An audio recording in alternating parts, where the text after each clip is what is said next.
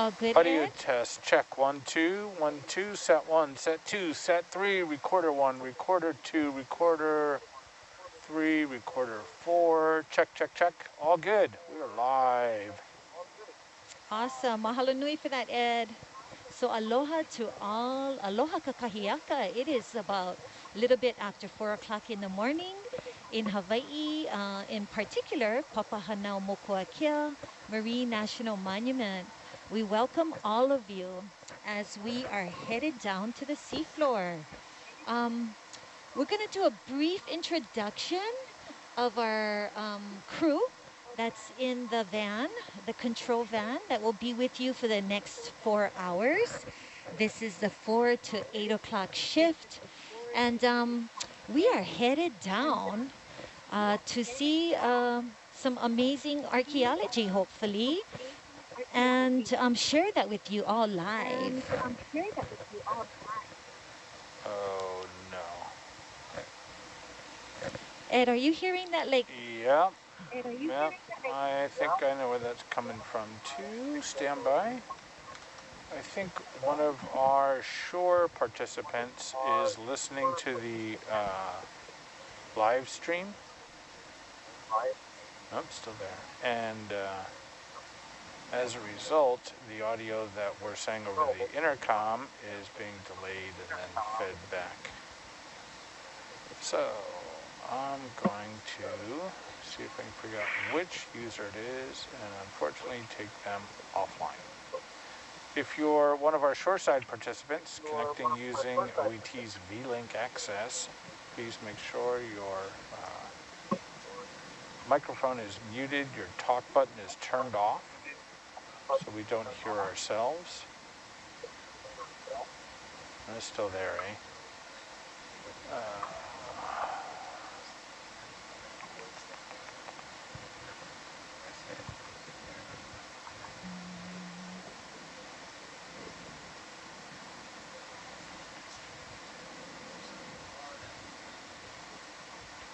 All right, well, that's a clue.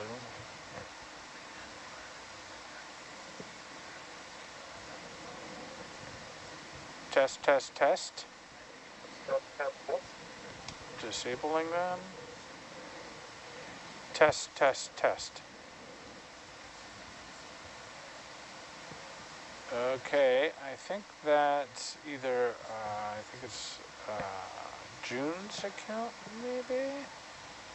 Well, if you're using VLink and try and contact us and are unsuccessful, please contact Dan or Megan. All right, we're good. Ish. okay, good-ish is good. Yep. Yep.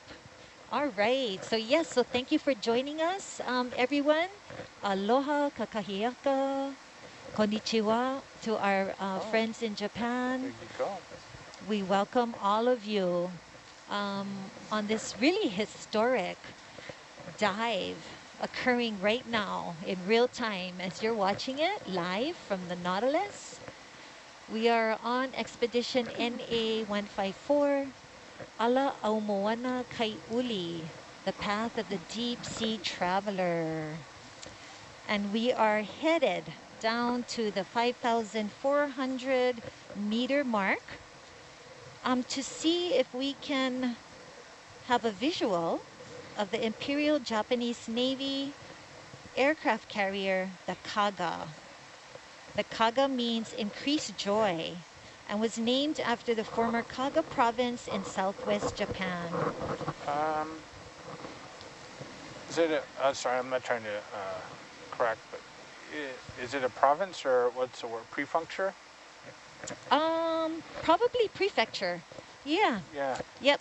So I think that's in English, it might be province, yeah, yeah. prefecture. Yep. In southwest Japan, and it, it is a historically significant World War II aircraft carrier that fought and was sunk during the Battle of Midway. So mahalo to all of you for joining us.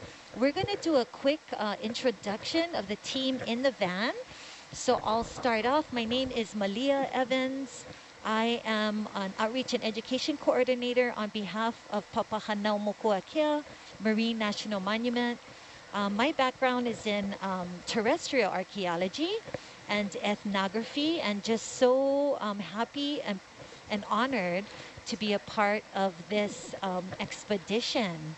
And so I'm going to hand it off to our wonderful colleague, Hannah. Good morning. So I'm Hannah Parody. I am a part of the science and data team, but specifically science, and I'm a geologist. And I'm from California State University, Long Beach, and I'm a grad student there. So, yeah.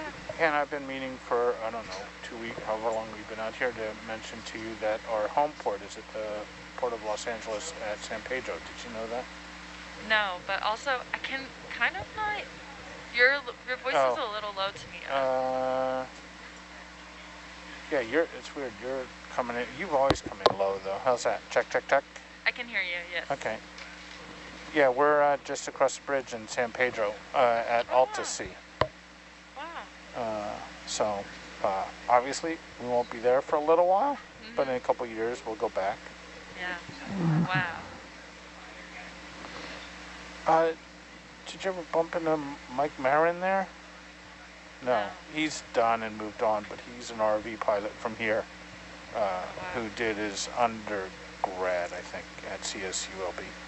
But no, Wow. CSO. Is it Cal? Ca- CSULB. Yeah, yeah. Mm-hmm. You're Cool. right. Cool. That's exciting. Uh, people-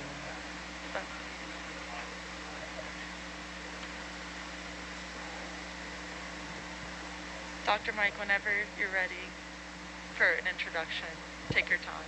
I'm ready. Hello, Okay. everyone. Mike Brennan, uh, maritime archaeologist with Search Inc. I'm the lead archaeologist and co-lead scientist for this mission. Excited to be here. Good morning, everyone. I'm Hans van Tilburg. I'm a maritime archaeologist and historian for NOAA's Office of National Marine Sanctuaries. And in fact, Malia and I work in the same place, the uh, uh, Daniel K. Inouye Regional Center on Ford Island in Honolulu, Hawaii.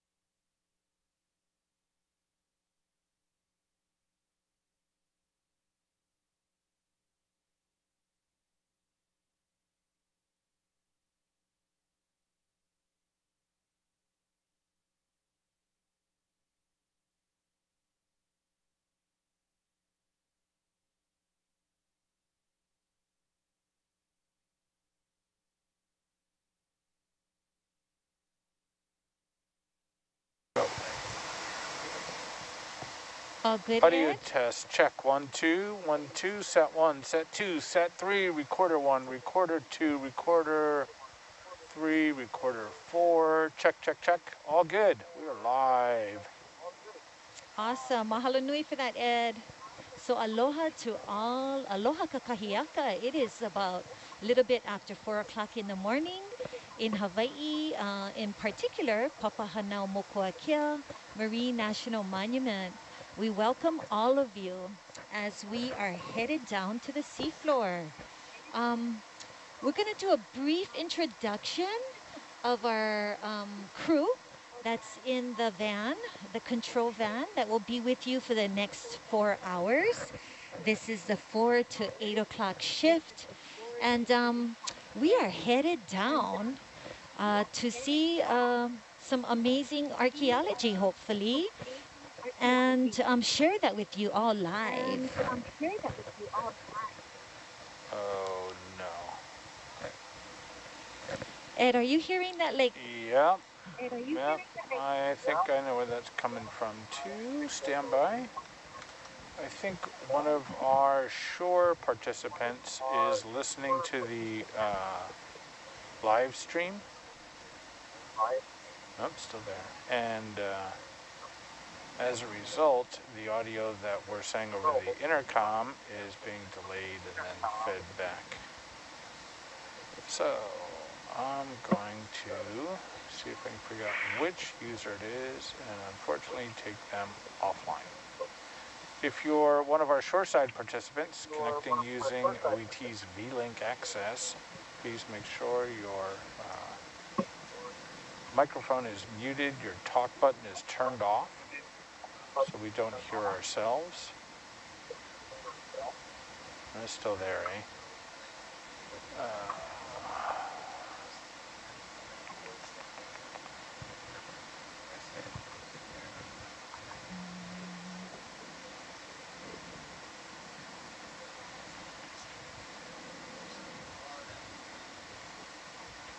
All right, well, that's a clue.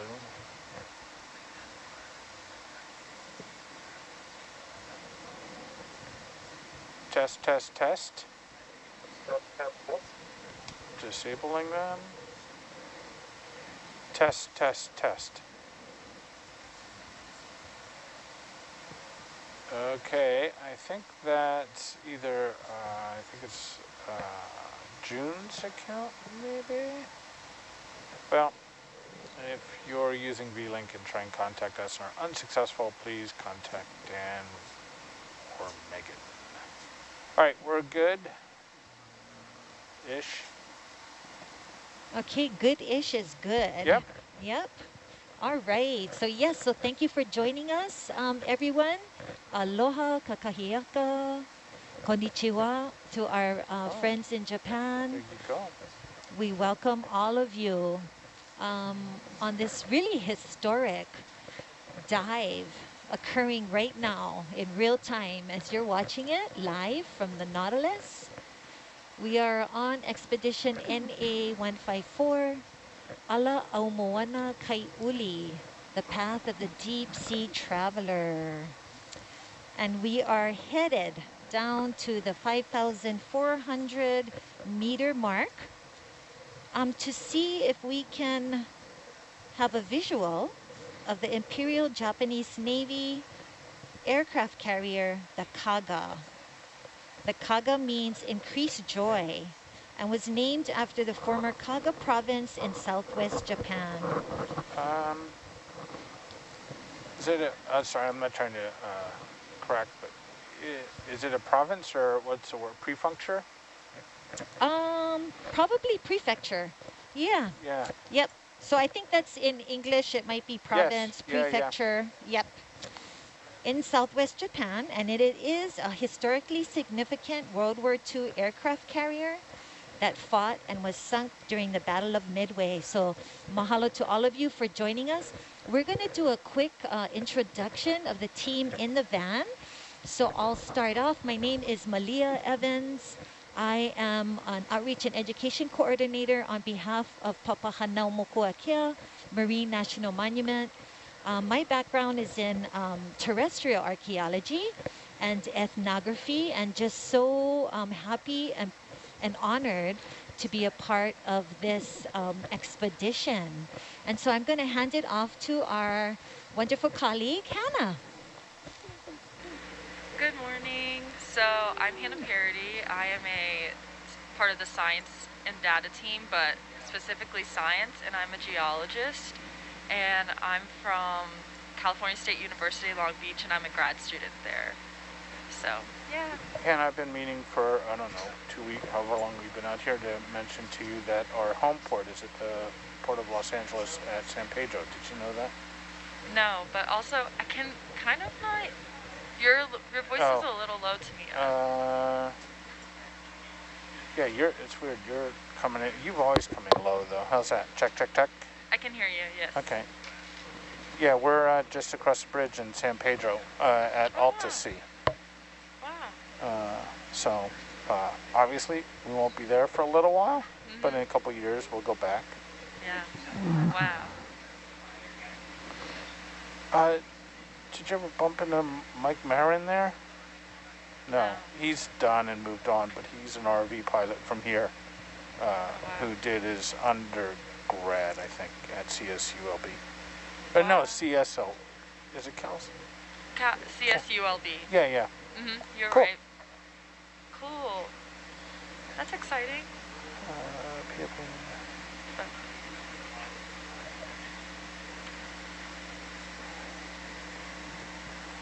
Dr. Mike, whenever you're ready for an introduction, take your time. I'm ready. Hello, Okay. everyone. Mike Brennan, uh, maritime archaeologist with Search Inc. I'm the lead archaeologist and co-lead scientist for this mission. Excited to be here. Good morning, everyone. I'm Hans Van Tilburg.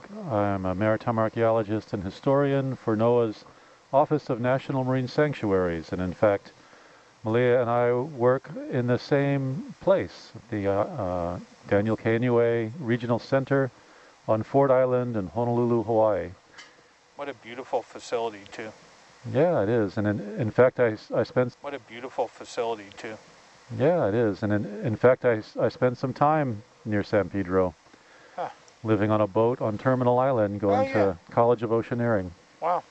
I spent no shortage of time uh, waiting to get through security to get on the Ford Island. that can get backed up at times. It sure can, especially in the mornings when everybody's trying to get to work.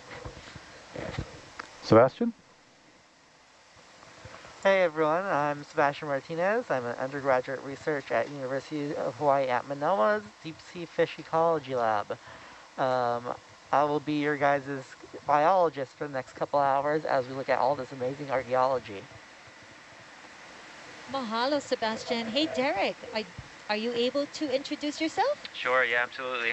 Hi, everybody. Uh, Derek Sowers here. I work for Ocean Exploration Trust as the mapping operations manager, and I'll be serving as the navigator for this dive. Mahalo, Derek. What about you, Tito?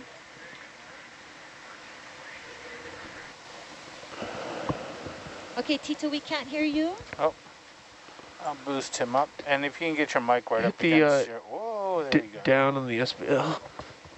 Yeah, there you go. That's good. Let's try this. All right, good morning. Yeah, This that's is, so uh, much better. Can you hear me? Perfect. Perfect. Excellent. Uh, Alberto Collasius Jr., otherwise uh, known as Tito.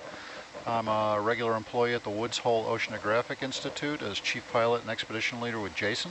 And I'm out here uh, moonlighting a bit uh, for the next couple weeks and uh, really excited about diving on Kaga this morning.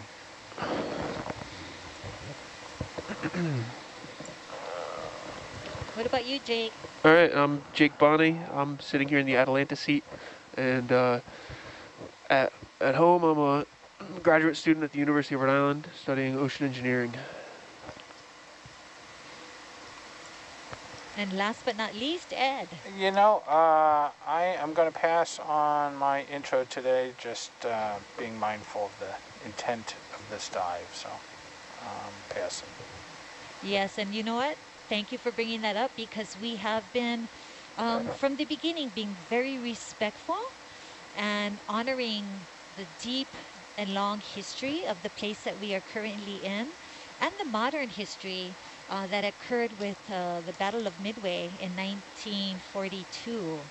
And so as we descend into the depths of Kanaloa, the god of the ocean, from the Hawaiian perspective, we honor the life that was, um, you know, taken uh, by the tragedy of war, and we have a deep reverence for the events that occurred.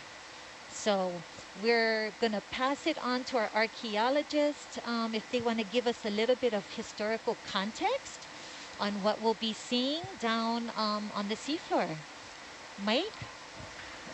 Yeah, thanks, Malia. Um, so Kaga was, um, uh, portions of the wreck were found in 2019 by the Nauticos uh, expeditions, um, and then the, the wreck was found in 20, I'm sorry, that was 1999. And in 2019, it was found in uh, with a AUV survey uh, by Vulcan Inc. Uh, off the research vessel Petrel. Um, and they did a, a quick, uh, I think like hour or 90 minute dive to confirm the identity. So, so there has been eyes on this wreck. Um, and we're going to come down and do uh, a little bit more thorough of a, of a dive. Um, I expect that it's going to be um, similar in appearance to the Akagi dive from yesterday. Um, this this wreck was hit, or this ship was hit uh, four times with bombs um, on the flight deck, and then similarly uh, caused massive fires uh, throughout the wreck, and then it was um, scuttled uh, by torpedoes from Japanese destroyers as well. Um, so we're expecting it to be upright. The uh, the island or the tower where the bridge was is is not expected to be there, uh, and the flight deck uh, mostly uh, destroyed. So we'll be doing a similar thing where we're going to go around the the edge of the deck um, for about 360 degrees around the whole wreck, um, dropping down periodically to look at uh, potential torpedo damage along the side of the hull. Uh, we'll then do a, uh, a pass over the flight deck to take a look at the damage there and then look at the debris field. I hope we see some of the mud line and the torpedo damage. I think I saw in the notes that um, it might be buried to a considerable amount in the mud, but we'll see. Yeah, um, we found with Yorktown and, and with Akagi, the, the sediment here is quite soft and these large vessels have, have sunk uh, fairly deeply into the sediment. So what we can see of the of the hull will will depend on that. I'd also like to invite our um, colleagues on shore. Um, I'm not quite sure who we have um, over in Washington, D.C., but if you could please introduce yourself. I have not heard shore check in yet, uh, and I'm not sure we only have, I think, one account connected right now, and it, I don't think was Silver Springs. Okay, if we have any of our um, colleagues from Japan, um, feel free to jump on and introduce yourself, please.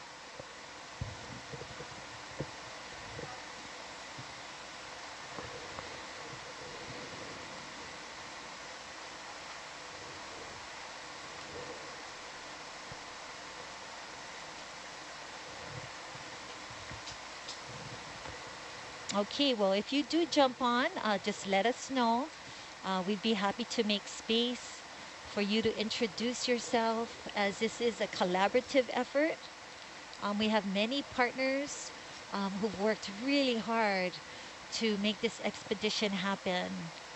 So collaboration is the name of uh, kind of the, the framework that we use here um, in Papahanaumokuakea and within the Ocean Exploration Trust.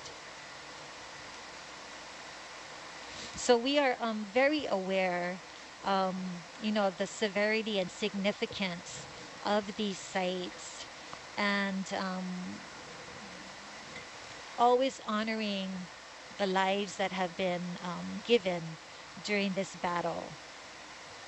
So you'll see uh, most of the, the, the staff here in the control van will, um, you know, we'll, we will have a very reverent attitude as we descend and um, explore the remains of the wreckage of the Imperial Japanese Navy Kaga.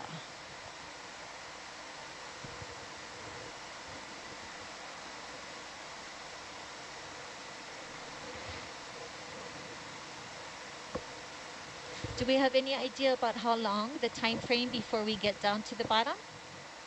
Well, we just passed uh, 4,500 meters, so um, probably the next half hour. Are we still stopping at 500s? Does not appear so.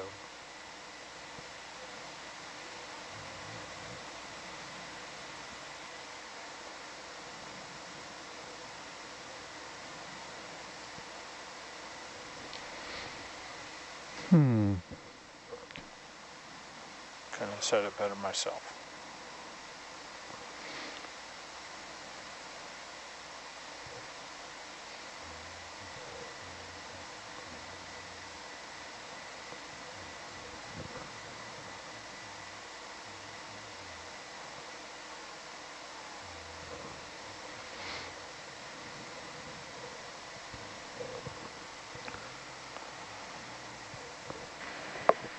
This was a very intense attack on the aircraft carrier Kaga. I think when we looked at the Akagi yesterday, you know, sadly there were some 200 and I think 67 casualties on the attack, but that was one of the lower numbers that were suffered on the aircraft carriers when they were attacked. I believe the number for the Kagas more up towards 811. So this was a, you know, a very violent and, and uh, a, a terrible event.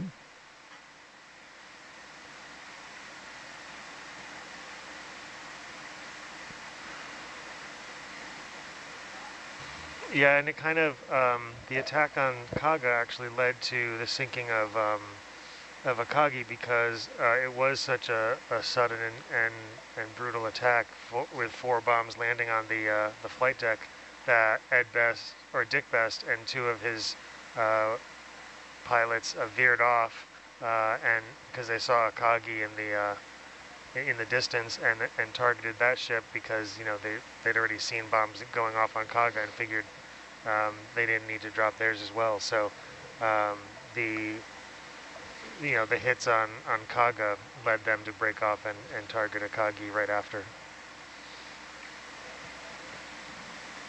So we learned from the um, Akagi that there were um, bombs um, on the decks that weren't, they didn't have time, they were, they were kind of changing out. Yeah. Um, is, would that be the same scenario that played out on the Kaga? It is, yeah. So um, all, all four Japanese carriers were switching over their um, their aerial bombs that were intended for Midway Island uh, to aerial torpedoes, which were because they had just learned of the uh, U.S. carriers uh, were in the area.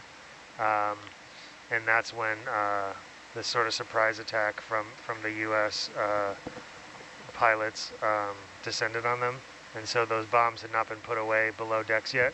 And so, yeah, each um, each of these attacks on, on Kaga, Akagi, and Soryu, which is we believe is somewhere to the northeast of us um, and has not been found yet, uh, detonated a lot of those bombs that were on the hangar deck still.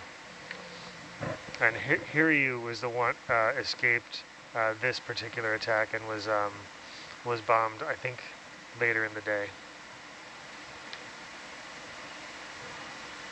Yeah, and, and the attacks, you know, damaged the fire suppression systems, which is, you know, even worse. And aviation gas lines, those were ruptured as well. So that's how the um, the fires spread, and then the induced explosions following the bombs spread. It's interesting. I'm, I'm reading the uh, books recommended by. Uh, you get this one. It's Dr. Brennan. Uh, the Pacific Crucible, and I'm on the Conquering Tide right now, and it, they keep uh, coming back to the point that the Japanese Navy did not have a big emphasis on damage control. Uh, they weren't as well trained as the Americans, and going into even some of the early World War II battles, uh, the Americans had novel approaches like clearing the fuel lines on the hangar deck and uh, replacing the fuel with CO2 to reduce fire risk. Yeah, and that was something. Um, so actually, Midway was the first time that uh, the Japanese Navy uh, lost a uh, a carrier, or I think yeah, a carrier uh, in, in World War II. They had, two of theirs had been damaged in uh, the Battle of Coral Sea, but not uh, badly. So so the Americans learned from the loss of Lexington a few weeks before this that um, the aviation fuel in the lines caught fire upon attack and, and developed the CO2 purging. Um, so it was kind of like a lessons learned from, from ships lost that um, is unfortunate, but gave gave an advantage in that. So Yorktown's fires were able to be put out because because they had done that.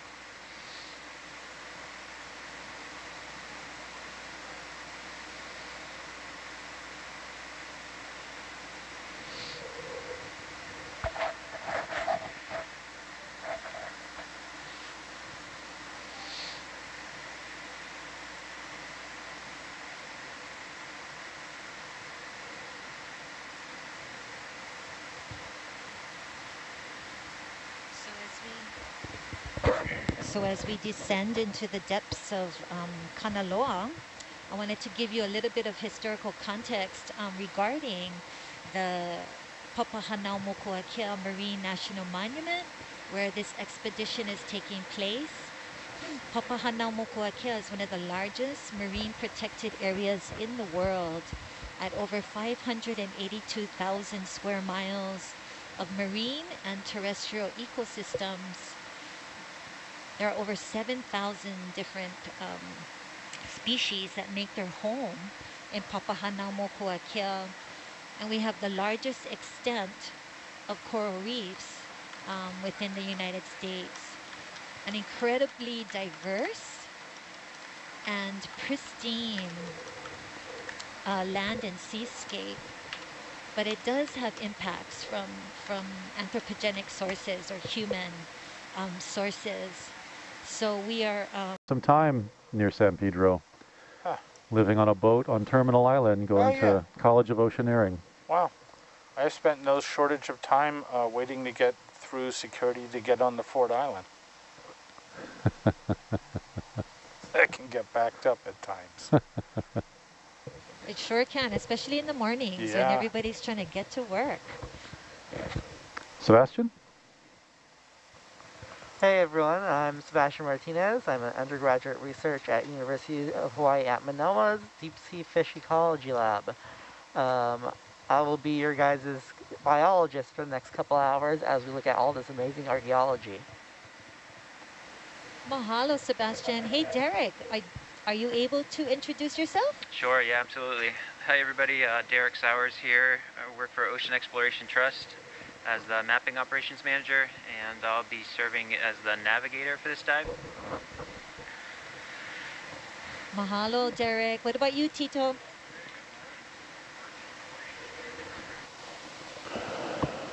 Okay, Tito, we can't hear you. Oh, I'll boost him up. And if you can get your mic right Hit up the, against uh, your... Whoa, there you go. Down on the SPL. Yeah, there you go. That's good. Let's try this. All right, good morning. This yeah, that's is, so uh, much better. Can you hear me? Perfect. Perfect. Excellent. Uh, Alberto Collasius Jr., otherwise uh, known as Tito. I'm a regular employee at the Woods Hole Oceanographic Institute as chief pilot and expedition leader with Jason. And I'm out here uh, moonlighting a bit uh, for the next couple of weeks and uh, really excited about diving on Kaga this morning.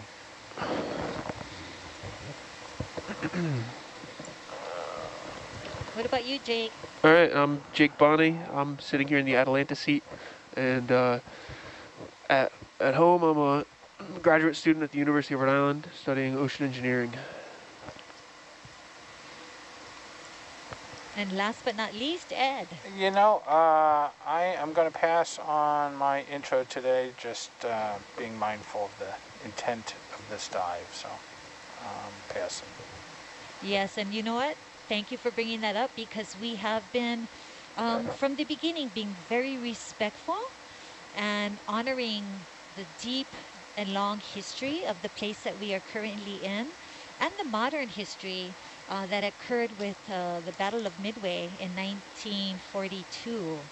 And so as we descend into the depths of Kanaloa, the god of the ocean, from the Hawaiian perspective, we honor the life that was, um, you know, taken uh, by the tragedy of war, and we have a deep reverence for the events that occurred.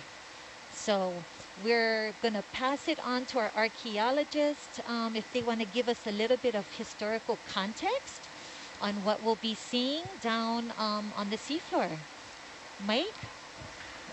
Yeah, thanks, Malia. Um, so Kaga was, um, uh, portions of the wreck were found in 2019 by the Nauticos uh, expeditions, um, and then the, the wreck was found in 20, I'm sorry, that was 1999. And in 2019, it was found in uh, with a AUV survey uh, by Vulcan Inc. Uh, off the research vessel Petrel. Um, and they did a, a quick, uh, I think like hour or 90 minute dive to confirm the identity. So, so there has been eyes on this wreck. Um, and we're going to come down and do uh, a little bit more thorough of a, of a dive. Um, I expect that it's going to be um, similar in appearance to the Akagi dive from yesterday. Um, this this wreck was hit, or this ship was hit uh, four times with bombs um, on the flight deck, and then similarly uh, caused massive fires uh, throughout the wreck, and then it was um, scuttled uh, by torpedoes from Japanese destroyers as well. Um, so we're expecting it to be upright the uh, the island or the tower where the bridge was is is not expected to be there, uh, and the flight deck uh, mostly uh, destroyed. So we'll be doing a similar thing, where we're going to go around the the edge of the deck um, for about 360 degrees around the whole wreck, um, dropping down periodically to look at uh, potential torpedo damage along the side of the hull. We'll then do a a pass over the flight deck to take a look at the damage there and then look at the debris field. I hope we see some of the mudline and the torpedo damage. I think I saw in the notes that um, it might be buried to a considerable amount in the mud, but we'll see. Yeah, um, we found with Yorktown and, and with Akagi, the, the sediment here is quite soft and these large vessels have, have sunk uh, fairly deeply into the sediment. So what we can see of the of the hull will will depend on that. I'd also like to invite our um, colleagues on shore. Um, I'm not quite sure who we have um, over in Washington, D.C., but if you could please introduce yourself. I have not heard shore check in yet. Uh, and I'm not sure. We only have, I think, one account connected right now, and it, I don't think was Silver Springs. Okay, if we have any of our um, colleagues from Japan, um, feel free to jump on and introduce yourself, please.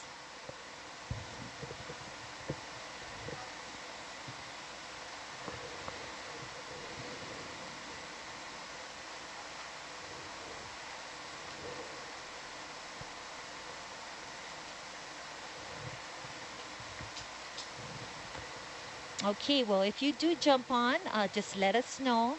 Uh, we'd be happy to make space for you to introduce yourself as this is a collaborative effort.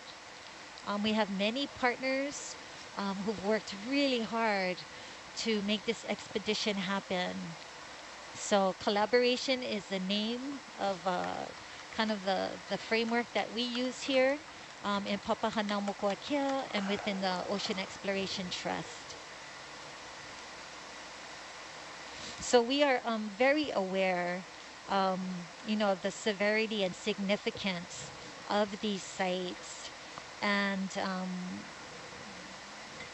always honoring the lives that have been um, given during this battle. So you'll see uh, most of the, the, the staff here in the control van will, um, you know, we'll, we will have a very reverent attitude as we descend and um, explore the remains of the wreckage of the Imperial Japanese Navy Kaga.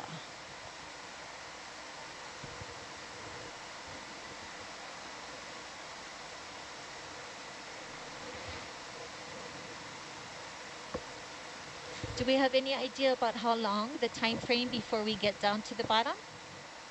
Well, we just passed uh, 4,500 meters, so um, probably the next half hour. Are we still stopping at 500s? Does not appear so.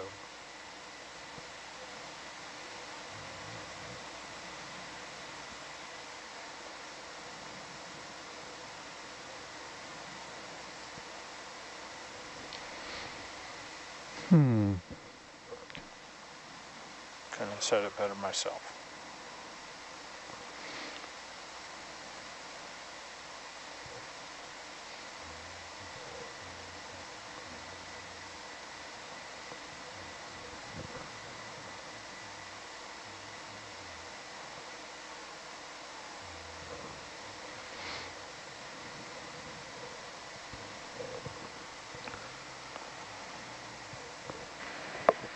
This was a very intense attack on the aircraft carrier Kaga. I think when we looked at the Akagi yesterday, you know, sadly there were some 200 and I think 67 casualties on the attack, but that was one of the lower numbers that were suffered on the aircraft carriers when they were attacked.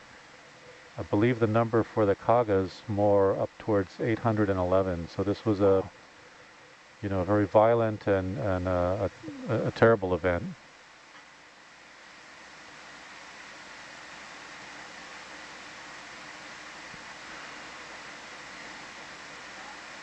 Yeah, and it kind of, um, the attack on Kaga actually led to the sinking of um, of Akagi because uh, it was such a, a sudden and, and, and, brutal attack with four bombs landing on the uh, the flight deck that Ed Best or Dick Best and two of his uh, pilots uh, veered off uh, and because they saw Akagi in the uh, in the distance and and targeted that ship because you know they they'd already seen bombs going off on Kaga and figured um, they didn't need to drop theirs as well. So um, the you know, the hits on, on Kaga led them to break off and, and target Akagi right after.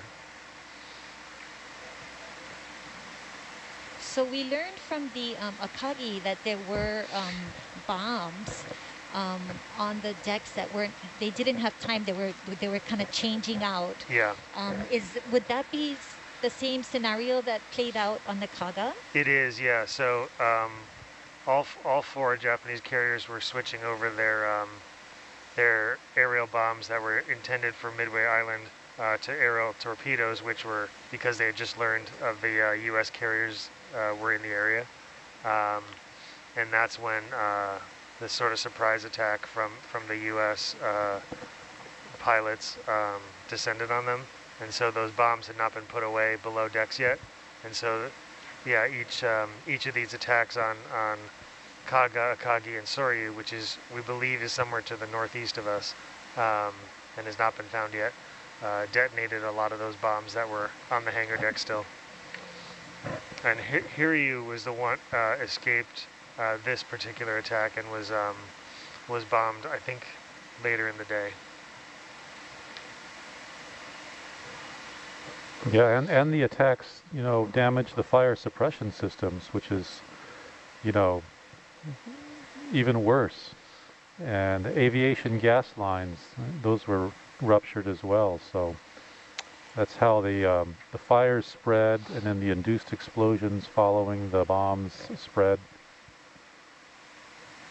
It's interesting. I'm, I'm reading the uh, books recommended by. Uh, you get this one. Dr. Brennan.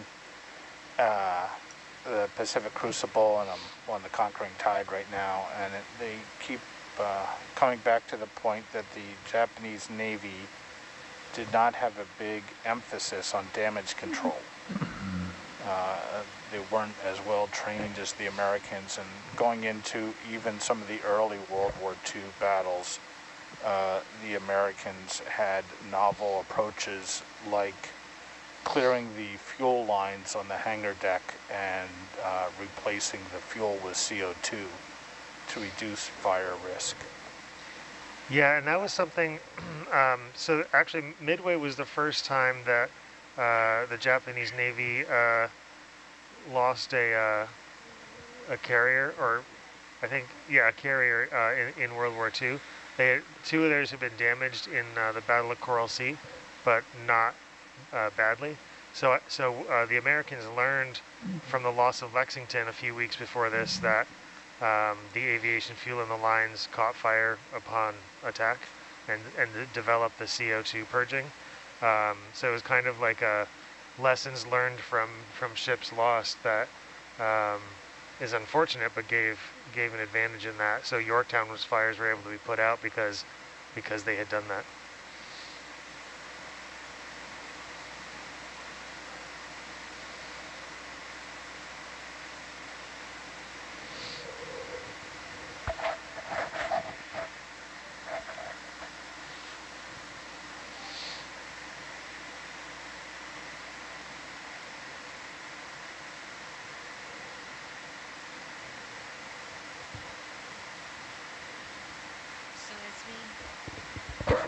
So as we descend into the depths of um, Kanaloa, I wanted to give you a little bit of historical context um, regarding the Papahanaumokuakea Marine National Monument, where this expedition is taking place.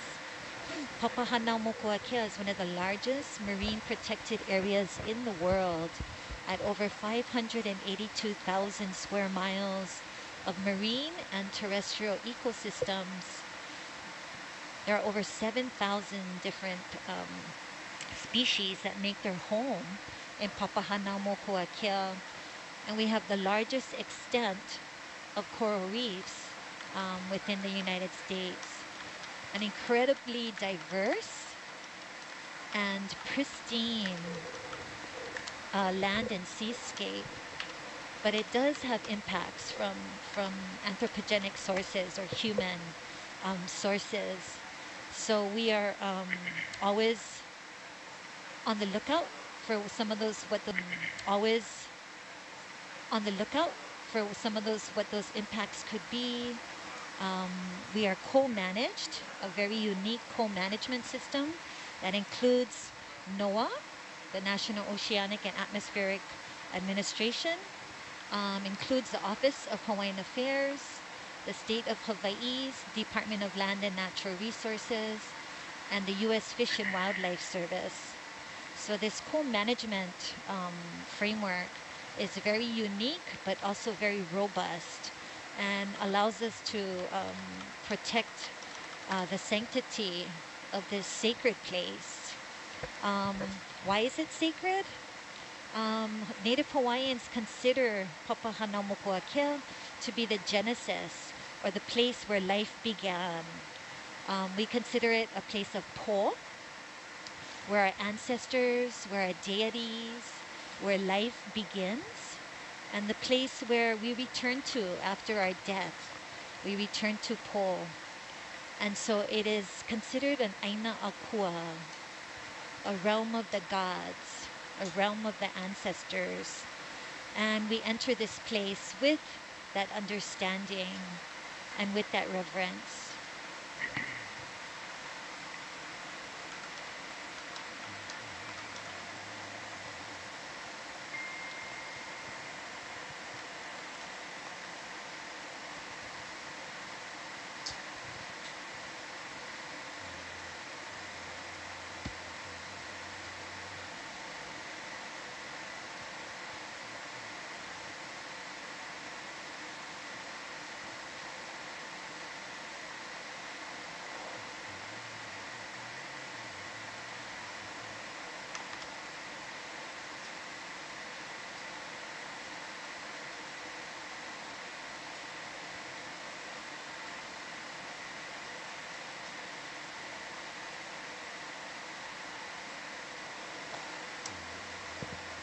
So we want to welcome all of our um, visitors. We have many people from the United States, the United Kingdom, uh, Japan, Canada, Germany, Italy, Turkey, uh, the Philippines, the Netherlands, Spain, Sweden, Russia, Norway, Ireland, Hungary, Greece, France, and Australia. So welcome friends from all over the world.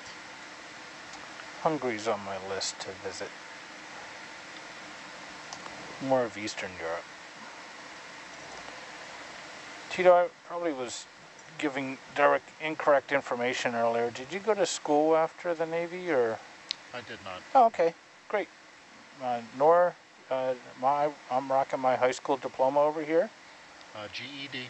Oh, University even better. Awesome. The first commander I, uh, of the ship USS Patterson, which I went to in Bath, Maine, uh, insisted I go get my GED as I was Oh. only 17 when I showed up. Yeah. Um, so I was telling Derek that uh, thanks to his doctorate and uh, with uh, Jake working, are you doing your master's or just undergrad now? You, are you doing, you're in Roman's lab, right? I am, yeah. So, uh, uh, thanks to these two, the front row averages out to an associate's degree. Well, no, I'm ac- I'm actually glad you, you brought that up because a lot of people we've actually gotten questions online over you know in the past. You know, oh, do I need a PhD to come out there? And and we have people from all over the place with all sorts of levels of education. And and basically, what what I tell people is you need the level of education that you need for the fields you want to get into. You know, um, don't get. Uh, you can often be overqualified by getting too many degrees for jobs that you want. So there's there's many different pathways to get onto ships like this and, and to participate. So um, you know, follow follow your passion and, and take the the sort of route that you, that you want to um, to do to do the the topics that you like. Well said, Mike. We don't always have to have an academic degree to do this kind of wonderful exploration. Yeah, I jokingly tell friends and neighbors that I'm the dumbest guy on the boat. Well, that is, uh, that is uh, There's a um, joke because I mean, I think what really matters in this field uh, operationally is the experience, um, and that's why we emphasize so much trying to get people some some field experience and share Right. time. Uh, work really hard on our internship program is um, get people the experience that they need to start building that career that they want. Yeah, they want to get into the field. And I'd like to point out that both you and I, Ed, are uh, both veterans. And uh, Yeah, I've had yep. many people tell me that that equates to a liberal arts degree. Uh, I never thought of being a waiter now that you mention it.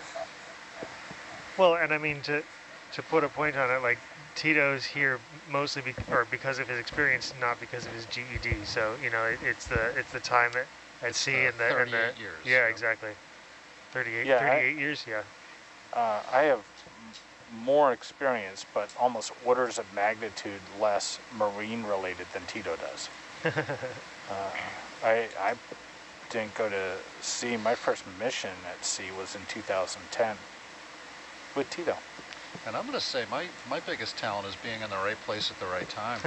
Yeah. uh, Titanic discovery, uh, Yeah. you know, first oceanographic cruise was that. Uh, you know, the year 2000, the Black Sea expedition, finding the third century and the uh, third century shipwreck in the anoxic layer.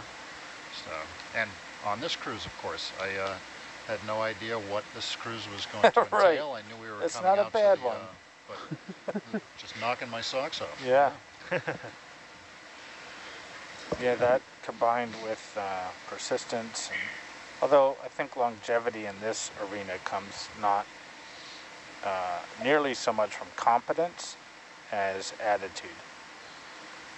Uh, if you're a team player and willing to do and help others to accomplish the mission and be pleasant about it despite working in difficult circumstances, long hours, cramped quarters, time away from family, and uh, still have fun and enjoy it and get to work with great people. I think that's uh, super helpful. Couldn't agree more. I used to joke that not many people get to do this work, and uh, or most people don't get to do this work, and they don't know how lucky they are.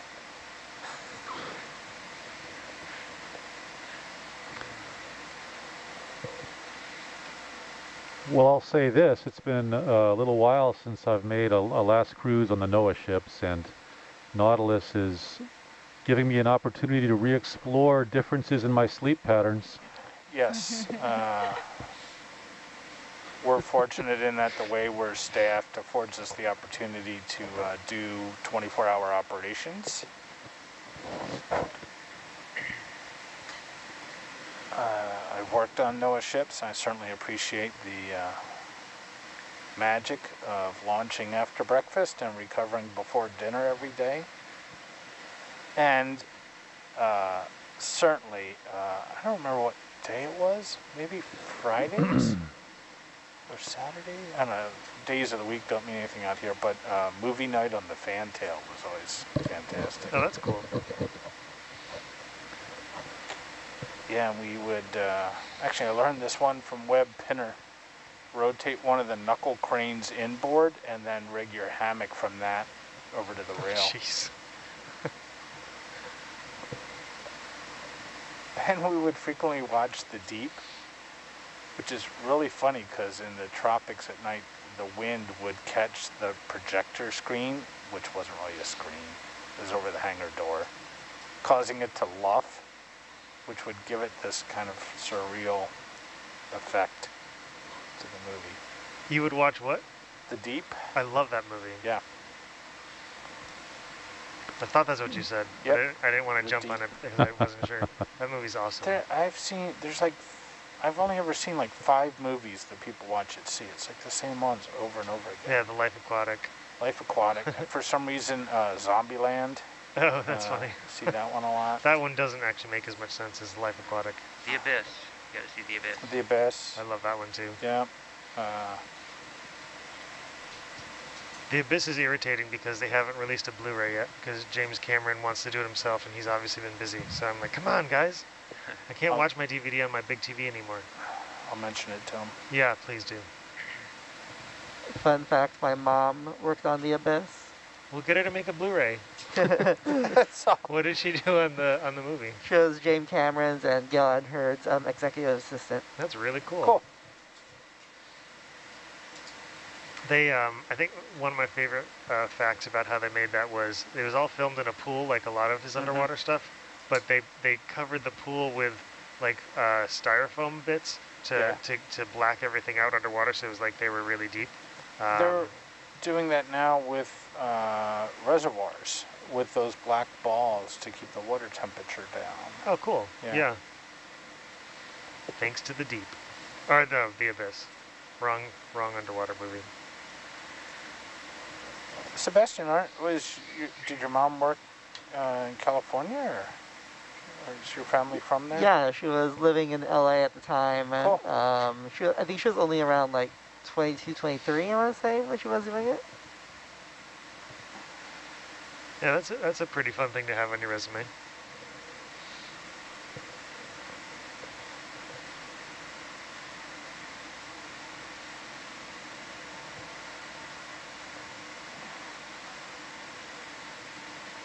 So Sebastian, uh, there's an interesting question. Um, what kind of biological communities have been found on uh, previous wrecks during this expedition? And do you expect to find the same on the Kaga? Fantastic question. Um, so, so far on these wrecks, we've kind of noticed um, three kind of major organisms. Um, the first are these white anemones that seem to really like hang out in higher places on the ship, and any thin railings and ropes in particular as well. And I believe they're doing that to try to catch the flow, get better flow in this normally low food environment, and try to maximize their nutrition. We've also seen, seen bolosomid sponges that are completely clear. So these sponges live on stalks that allow them to project themselves further in the water column and also try to get more filter feeding food like these anemones. And lastly, we've been seeing these um, in the distance, these white eel-like fish. Um, we haven't had the opportunity to get a close-up look at them, so we can't exactly get a super positive ID at the moment. But they are white, which implies that they have lost their pigment. And that's a commonality for many species down here at this depth. Mahalo nui, Sebastian. So we'll keep our eyes peeled and see if that kind of carries over to um, the Kaga as we descend.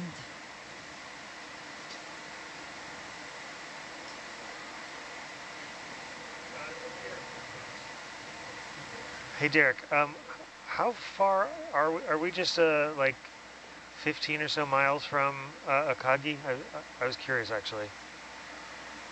Because Um, we're, we're these ships sink pretty close, relatively close together. But I wasn't sure what the exact um, yeah. distance was. Let me see if it's on this map.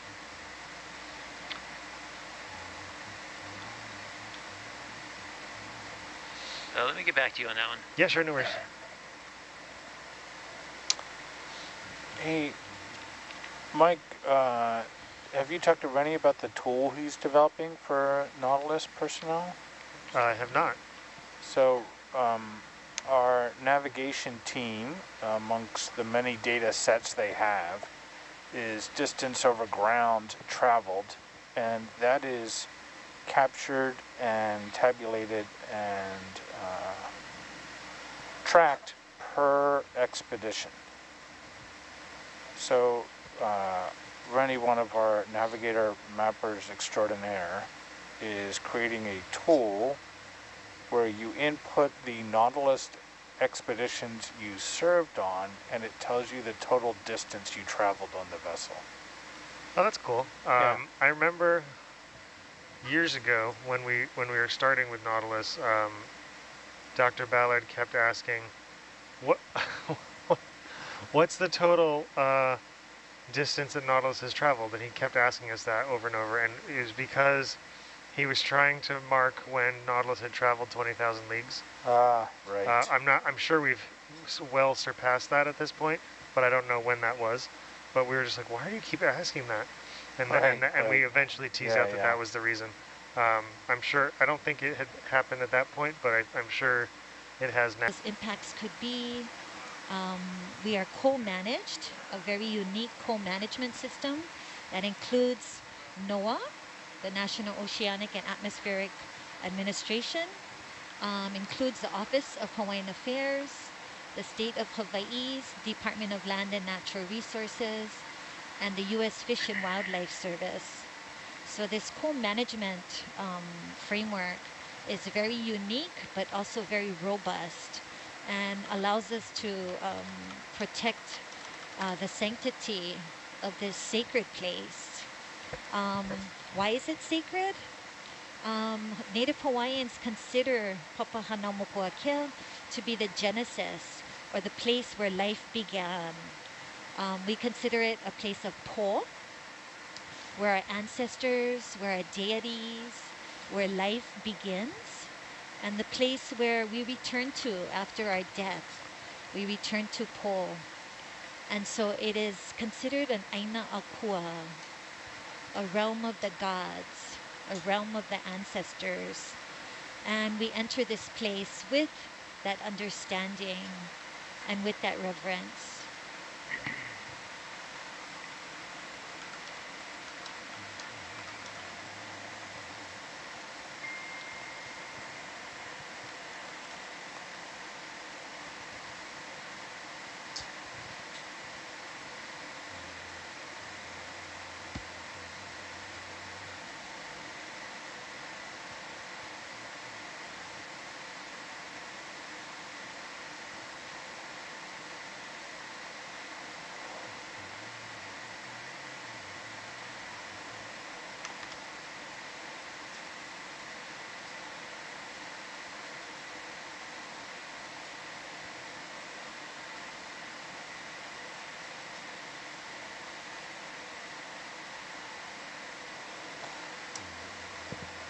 So we want to welcome all of our um, visitors. We have many people from the United States, the United Kingdom, uh, Japan, Canada, Germany, Italy, Turkey, uh, the Philippines, the Netherlands, Spain, Sweden, Russia, Norway, Ireland, Hungary, Greece, France, and Australia. So welcome friends from all over the world. Hungary's on my list to visit. More of Eastern Europe. Tito, I probably was giving Derek incorrect information earlier. Did you go to school after the Navy or? I did not. Oh, okay, great. Uh, Nora, uh, my, I'm rocking my high school diploma over here. Uh, GED. Oh, University even better. Maine. Awesome. The first commander I, uh, of the ship USS Patterson, which I went to in Bath, Maine, uh, insisted I go get my GED as I was Oh. only 17 when I showed up. Yeah. Um, so I was telling Derek that uh, thanks to his doctorate and uh, with uh, Jake working, are you doing your master's or just undergrad now? You, are you doing, you're in Roman's lab, right? I am, yeah. So, uh, uh, thanks to these two, the front row averages out to an associate's degree. Well, no, I'm ac- I'm actually glad you, you brought that up because a lot of people we've actually gotten questions online over you know in the past. You know, oh, do I need a PhD to come out there? And and we have people from all over the place with all sorts of levels of education. And and basically, what what I tell people is you need the level of education that you need for the fields you want to get into. You know, um, don't get. Uh, you can often be overqualified by getting too many degrees for jobs that you want.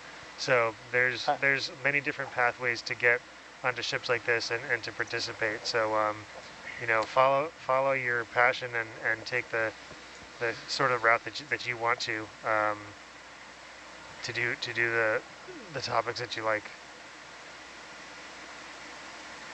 Well said, Mike. We don't always have to have an academic degree to do this kind of wonderful exploration.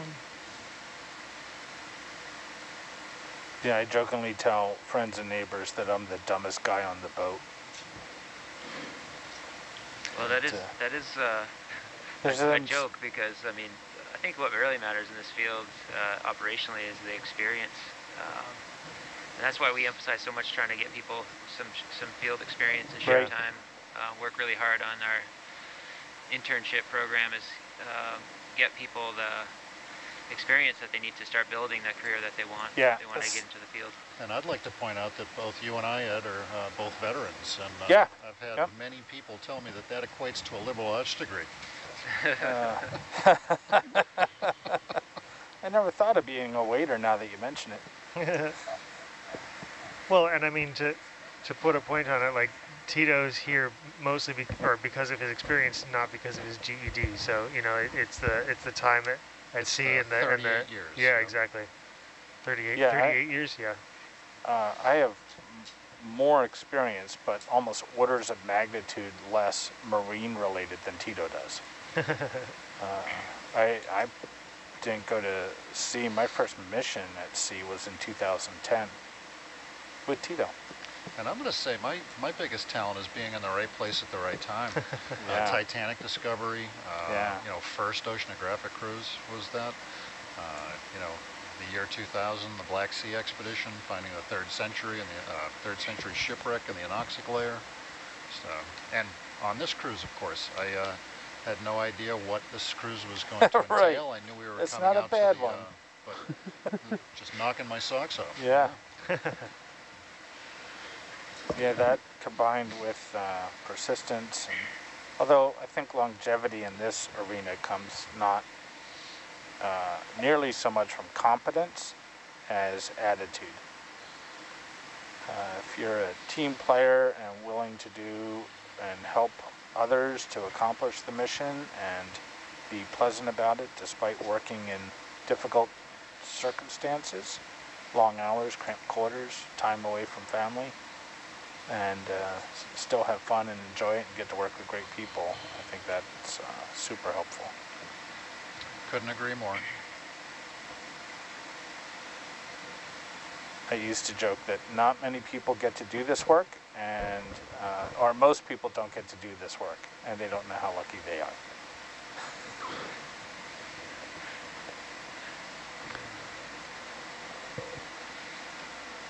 Well, I'll say this. It's been a little while since I've made a, a, last cruise on the NOAA ships, and Nautilus is giving me an opportunity to re-explore differences in my sleep patterns. Yes. Uh, we're fortunate in that the way we're staffed affords us the opportunity to uh, do 24-hour operations.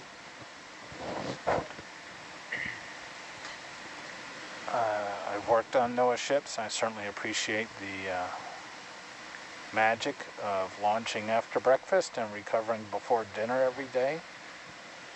And uh, certainly, uh, I don't remember what day it was, maybe Fridays or Saturday? I don't know. Days of the week don't mean anything out here, but uh, movie night on the fantail was always fantastic. Oh, that's cool. Yeah, and we would, uh, actually I learned this one from Webb Pinner. Rotate one of the knuckle cranes inboard and then rig your hammock from that over to the rail. Jeez. and we would frequently watch The Deep, which is really funny because in the tropics at night, the wind would catch the projector screen, which wasn't really a screen, it was over the hangar door, causing it to luff which would give it this kind of surreal effect to the movie. You would watch what? The Deep. I love that movie. Yeah. I thought that's what you said. Yep. I, didn't, I didn't want to jump Deep. on it because I wasn't sure. That movie's awesome. There, I've seen, there's like, I've only ever seen like five movies that people watch at sea. It's like the same ones over and over again. Yeah, The Life Aquatic. Life Aquatic. For some reason, uh, Zombieland. Oh, that's uh, funny. See that one a lot. That one doesn't actually make as much sense as Life Aquatic. The Abyss. You gotta see The Abyss. The Abyss. I love that one too. Yeah. Uh, The Abyss is irritating because they haven't released a Blu-ray yet because James Cameron wants to do it himself and he's obviously been busy. So I'm like, come on, guys. I can't I'll- watch my DVD on my big TV anymore. I'll mention it to him. Yeah, please do. Fun fact, my mom worked on The Abyss. We'll get her to make a Blu-ray. That's. What did she do on the on the movie? She was James Cameron's and Gale Anne Hurd's um, executive assistant. That's really cool. Cool. They, um, I think one of my favorite uh, facts about how they made that was it was all filmed in a pool, like a lot of his underwater stuff, but they they covered the pool with like uh, styrofoam bits to, Yeah. to to black everything out underwater, so it was like they were really deep. Um, They're doing that now with uh, reservoirs, with those black balls to keep the water temperature down. oh, cool. Yeah. Yeah. Thanks to the deep, or the the abyss. Wrong wrong underwater movie. Sebastian, aren't, was you, did your mom work uh, in California, or, or is your family from there? Yeah, she was living in LA at the time. and, Cool. Um, she, I think she was only around like 22, 23, I want to say, when she was doing it. Yeah, that's a, that's a pretty fun thing to have on your resume.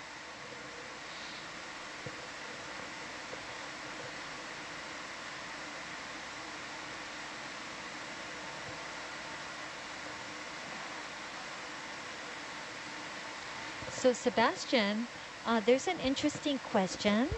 Um, what kind of biological communities have been found on uh, previous wrecks during this expedition?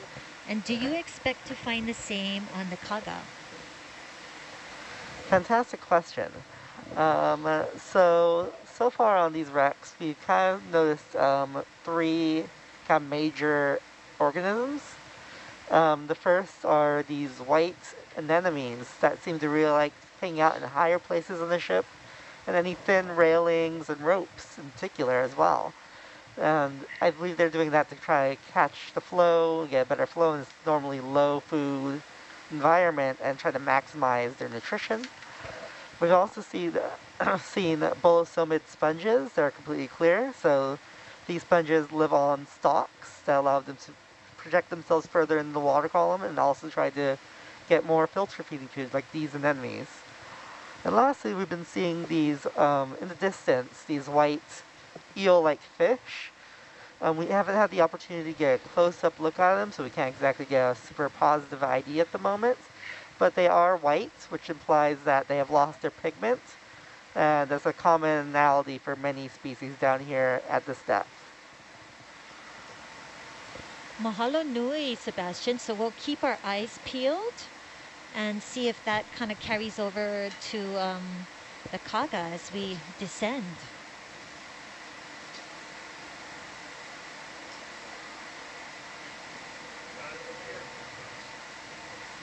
Hey Derek, um, how far are we? Are we just uh, like 15 or so miles from uh, Akagi? I, I was curious actually.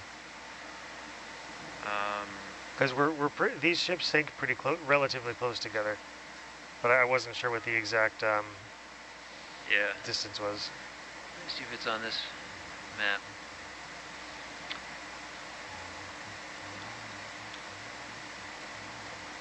Uh, let me get back to you on that one. Yeah, sure, no worries. Hey, Mike, uh, have you talked to Rennie about the tool he's developing for Nautilus personnel? I have not. So, um, our navigation team, amongst the many data sets they have, is distance over ground traveled, and that is captured and tabulated and uh, tracked per expedition. So, uh, Rennie, one of our navigator mappers extraordinaire, is creating a tool where you input the Nautilus expeditions you served on, and it tells you the total distance you traveled on the vessel.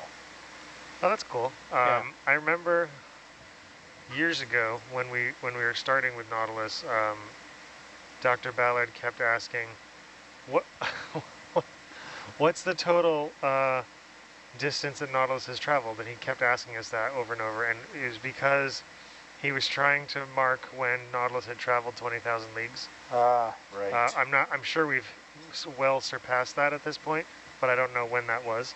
But we were just like, why do you keep asking that? And th- and, Right, and we eventually teased Yeah, out that yeah. that was the reason. Um, I'm sure. I don't think it had happened at that point, but I, I'm sure it has now, and I'm not sure when that was. uh, Now, and I'm not sure when that was. uh, there's uh, few, if any, uh, left from the earliest days of Nautilus when it was acquired by OET. But there's a photo album in the lounge that documents what the vessel looked like back in those days, and it's pretty oh, I need to take a look at that. It's remarkable.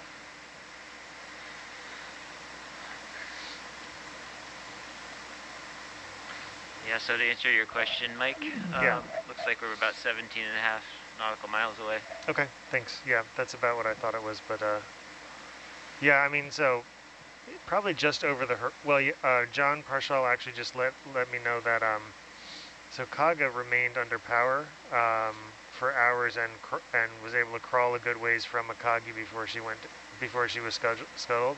Um, so they they had been inside of each other and probably uh, were not at the time of the, that they were sunk. 'Cause I think the horizon's usually like I think 12 to 15 miles away, so they were probably just over the horizon. Could probably see the smoke from each other though.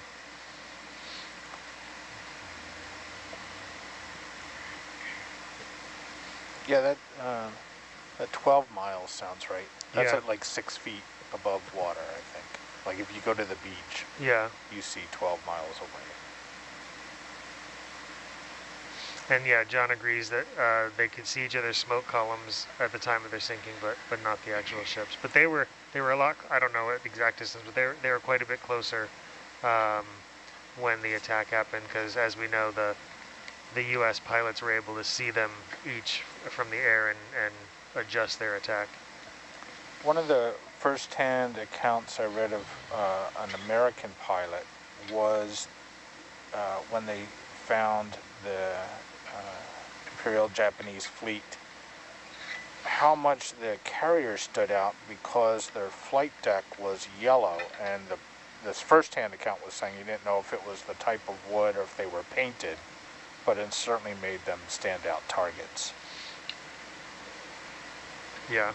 I don't know if they painted their deck yellow or they were using some wood that had that or stain, you know, just, but, uh, I know that there was um, paint because they, they each had um, the the red uh, rising sun on Mhm. the on the bows. Uh, and uh, yeah, yeah. So John agrees that the the flight decks were yellow and they all had the red Hinomaru circles uh, on the on the bows. did, did Japan ever field carriers that were purpose-built carriers that weren't just like battleship hulls and then, Yeah. So um, Zuikaku and Shokaku were their newer carriers. They were they were smaller and faster. Uh, and they were the ones that were damaged in the Battle of Coral Sea, Mhm. uh, which kept them out of the fight in Midway. Had that not happened, um, you know, the, the the forces would have been would have been very different, uh, and the battle might have been very different. Also, you know, the U.S. had, had lost their Lexington carrier, which was uh, one of the original carriers as well. So, the Battle of Coral Sea was definitely very impactful on on what ended up uh, being the, the fleets at Midway. yeah, so many chain of events had to line up perfectly for this outcome. Yeah. E- Even the repair crew on the Yorktown, if that had not been repaired and was still smoking, Yep. Uh, it wouldn't have drawn its second attack, and that would have been directed elsewhere. And John Parshall actually says that Soryu and Hiryu were purpose-built carriers, and Soryu was the first one. And then the other two I mentioned.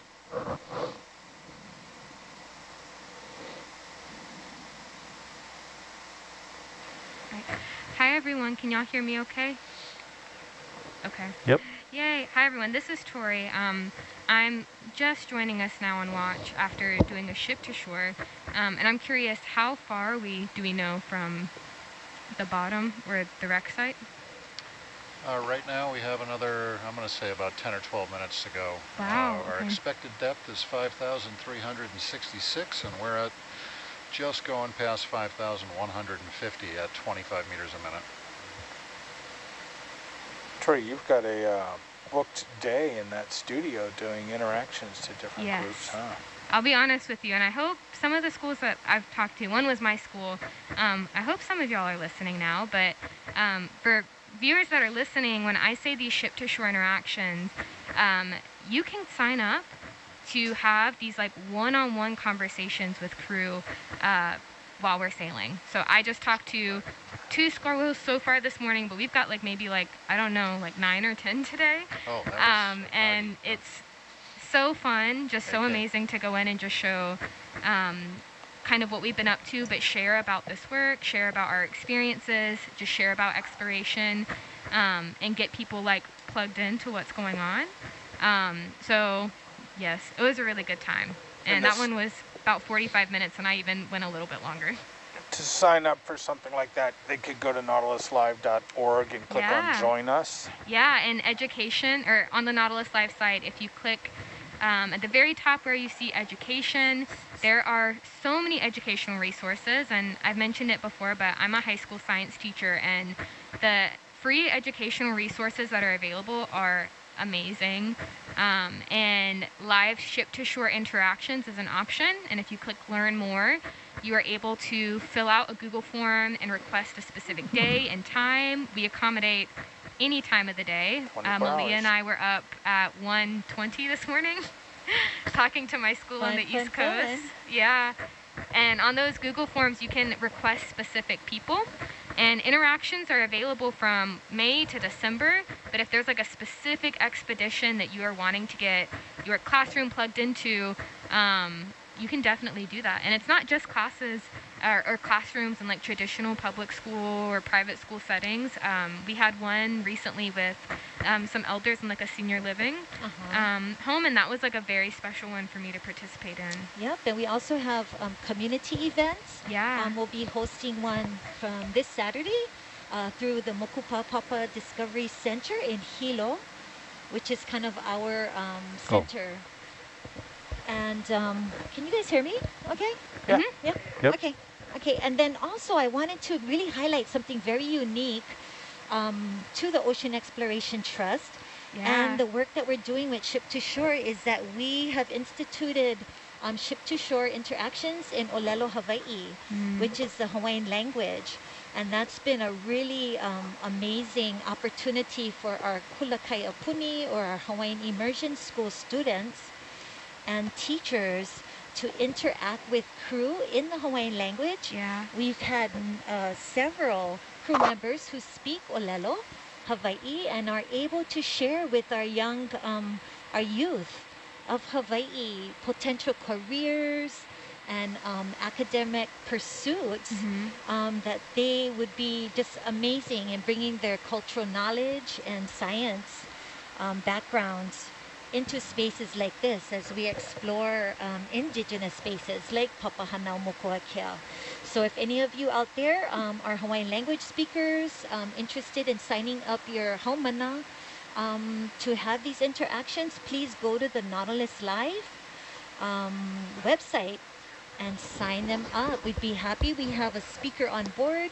We also have um, Hawaiian language speakers on shore that can help um, facilitate the interactions. hmm And I'll say too, like, uh, for me, when I was growing up, I've always loved the ocean, and I've always like just dreamed of learning about the ocean. But I thought the only way I could really do that was to get like a marine biology degree, and I am just like totally blown away and amazed by everyone's careers out here, and that's like my favorite thing to share on these ship to shore interactions is just all the possibilities. Right. And you know, we shared earlier about, you know, people's journeys to get to this Oh, place. good. And Yeah. really highlighted that, you know, if, if academia is not for you and a college degree is not for you, um, that's okay because there are other avenues to, um, you know, be doing this kind of work. So we encourage you. Don't let, um, you know, a college degree scare you from um, entering into a field that you love. Yeah. Hey, this is Tito again. I was 100 meters off. Uh, we're going to 5440, and that's going to take uh, another three or four minutes uh, in addition to what I had mentioned. Oh, that is uh, quite a bit deeper than uh, than yesterday. 120 Yeah. meters, I believe, yep.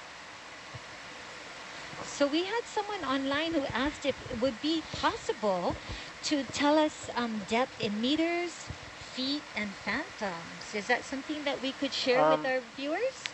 On our the Nautilus Live website, Mhm. it does show the depth and it toggles between meters and feet. Uh, but I'm sure we can. But uh, 5,400 meters is right around 16.5, I want to say, in feet, and that would be uh, divided Uh, into three three point one eight miles. Yep. And about 2,700 fathoms. Uh, I'm looking for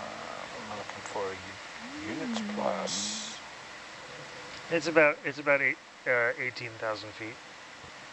What's Yeah. our uh, target depth? Five four four six. Yes. 544, yep. Yeah. So uh, seventeen thousand eight hundred sixty-seven feet.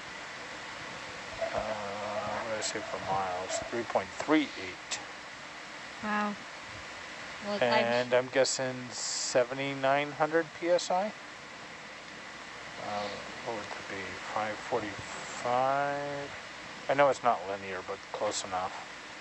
This is the first time that I'm hearing the unit fathoms before, so now I'm just sitting here googling 545. fathoms and when Six we feet. use this unit. Yeah. Oh, look at that. Right on the money there, Jake. 8,000. Yep, 8,000. 11.5 psi.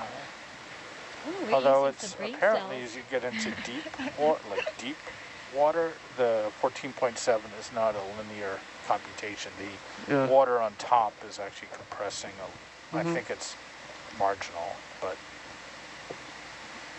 14.7 gives you a ballpark, just not You can do it. accurate. Quick back of the hand calculation is 1.5 times the water depth in meters, and that's actually you're overestimating. You're being conservative. yeah. So Yep, not a the bad deeper you go, it kind of it evens out. And some sonar return there. How many miles did you say it was? 3.3, 3.38. 3.38. So we should be getting altimeter hits quite soon. Well, thank you to our front row. I'm sure our viewer is very happy to hear that. yeah.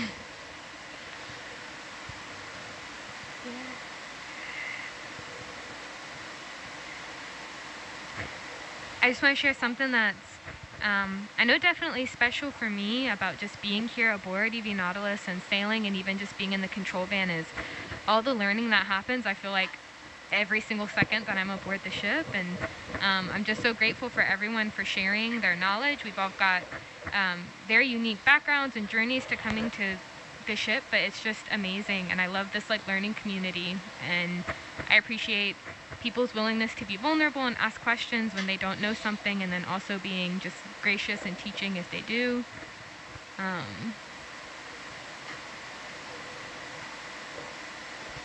Thank you for that. Yes, it is a team effort in everything that we do on board the Nautilus, and um, everybody brings something amazing to the table.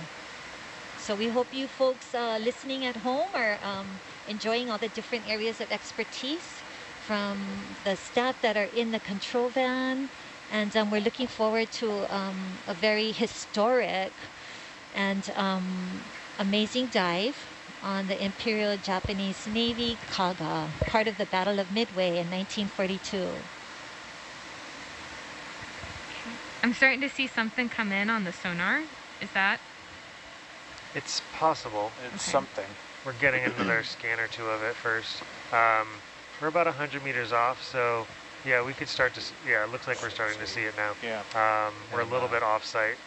Sonar set is at 30 meter scale, so that's uh, Okay. 125, 130 meters And away. that makes sense. Uh, we're, Yeah. we're about 80 meters off bottom, so um, I think the top of the, I think the top of the tower is about 90 meters actually. And no, no, 90 feet, 90 feet. Okay. Sorry, Tito, I was going to ask, you said the sonar scale is 30 meters? That's Right correct. now, In yeah. between the rings? five grades there, so yeah, total of about 150 meters. That, we may change that during the dive, though. It's uh, not an absolute. Mm-hmm. We will. I had it on a larger scale just to, just for this. Alti- altimeter showing about 30 meters off bottom.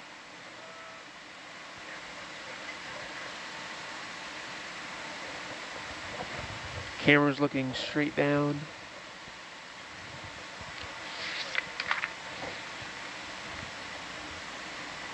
There's uh, few, if any, uh, left from the earliest days of Nautilus when it was acquired by OET.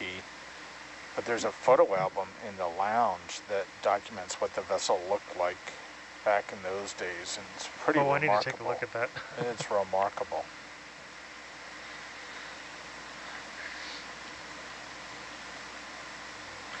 Yeah, so to answer your question, Mike, um, Yeah. looks like we're about 17 and a half nautical miles away. Okay, thanks. Yeah, that's about what I thought it was, but uh, yeah, I mean, so probably just over the. Well, uh, John Parshall actually just let let me know that um, so Kaga remained under power um, for hours and and was able to crawl a good ways from Akagi before she went before she was scuttled.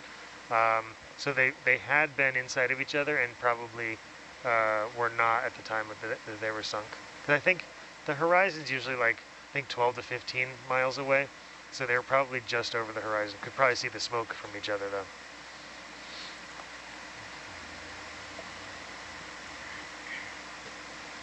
Yeah, that uh, that 12 miles sounds right. That's Yeah. at like six feet above water, I think. Like if you go to the beach, Yeah. you see 12 miles away. And yeah, John agrees that uh, they could see each other's smoke columns at the time of their sinking, but but not the actual ships. But they were they were a lot. I don't know the exact distance, but they were, they were quite a bit closer um, when the attack happened. Because as we know, the the U.S. pilots were able to see them each from the air and and adjust their attack. One of the first-hand accounts I read of uh, an American pilot was uh, when they found the Imperial Japanese fleet, how much the carrier stood out because their flight deck was yellow, and the, this first-hand account was saying you didn't know if it was the type of wood or if they were painted, but it certainly made them standout targets. Yeah.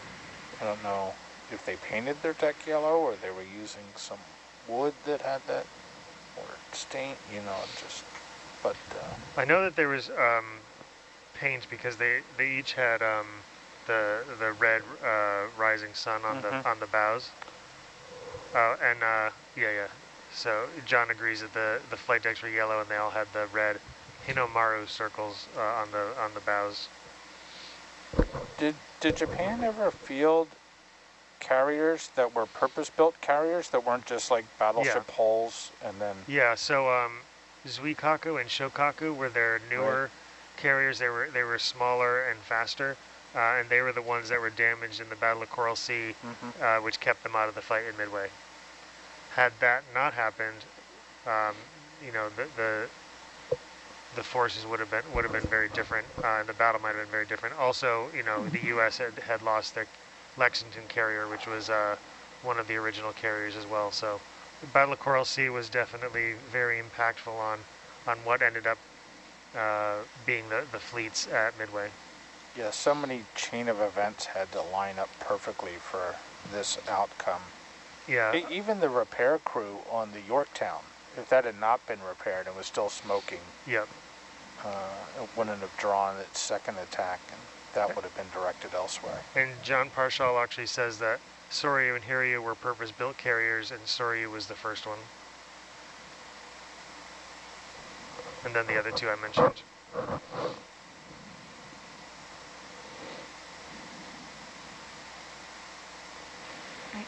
Hi everyone, can y'all hear me okay? Okay. Yep. Yay. Hi everyone, this is Tori. Um, I'm just joining us now on watch after doing a ship to shore. Um, and I'm curious, how far we do we know from the bottom or the wreck site? Uh, right now, we have another, I'm going to say about 10 or 12 minutes to go. Wow, Uh, our okay. expected depth is 5,366, and we're at just going past 5,150 at 25 meters a minute. Troy, you've got a uh, booked day in that studio doing interactions to different Yes. groups, huh? I'll be honest with you, and I hope some of the schools that I've talked to, one was my school. Um, I hope some of y'all are listening now, but um, for viewers that are listening, when I say these ship to shore interactions, um, you can sign up to have these like one-on-one conversations with crew uh, while we're sailing. So I just talked to two squirrels so far this morning, but we've got like maybe like I don't know, like nine or ten today. Oh, Um, and it's so fun, just so amazing to go in and just show um, kind of what we've been up to, but share about this work, share about our experiences, just share about exploration, um, and get people like plugged into what's going on. Um, so, yes, it was a really good time. And, And that one was about 45 minutes, and I even went a little bit longer. To sign up for something like that, they could go to nautiluslive.org and click Yeah. on Join Us. Yeah, and education, or on the Nautilus Live site, if you click um, at the very top where you see education, there are so many educational resources. And I've mentioned it before, but I'm a high school science teacher, and the free educational resources that are available are amazing. Um, and live ship to shore interactions is an option. And if you click learn more, you are able to fill out a Google form and request a specific day and time. We accommodate any time of the day. 24 Uh, Malia hours. and I were up at 1:20 this morning, talking to my school on the East Coast. Yeah, and on those Google forms, you can request specific people. And interactions are available from May to December. But if there's like a specific expedition that you are wanting to get your classroom plugged into, um, you can definitely do that. And it's not just classes or, or classrooms in like traditional public school or private school settings. Um, we had one recently with um, some elders in like a senior living Uh-huh. um, home, and that was like a very special one for me to participate in. Yep, and we also have um, community events. Yeah. Um, we'll be hosting one from this Saturday uh, through the Mokupapapa Discovery Center in Hilo, which is kind of our um, Oh. center. And um, can you guys hear me? Okay. Yeah. Mhm. Yep. Yep. Okay. Okay. And then also, I wanted to really highlight something very unique um, to the Ocean Exploration Trust Yeah. And the work that we're doing with Ship to Shore is that we have instituted um, ship to shore interactions in Olelo, Hawaii, Mm. which is the Hawaiian language.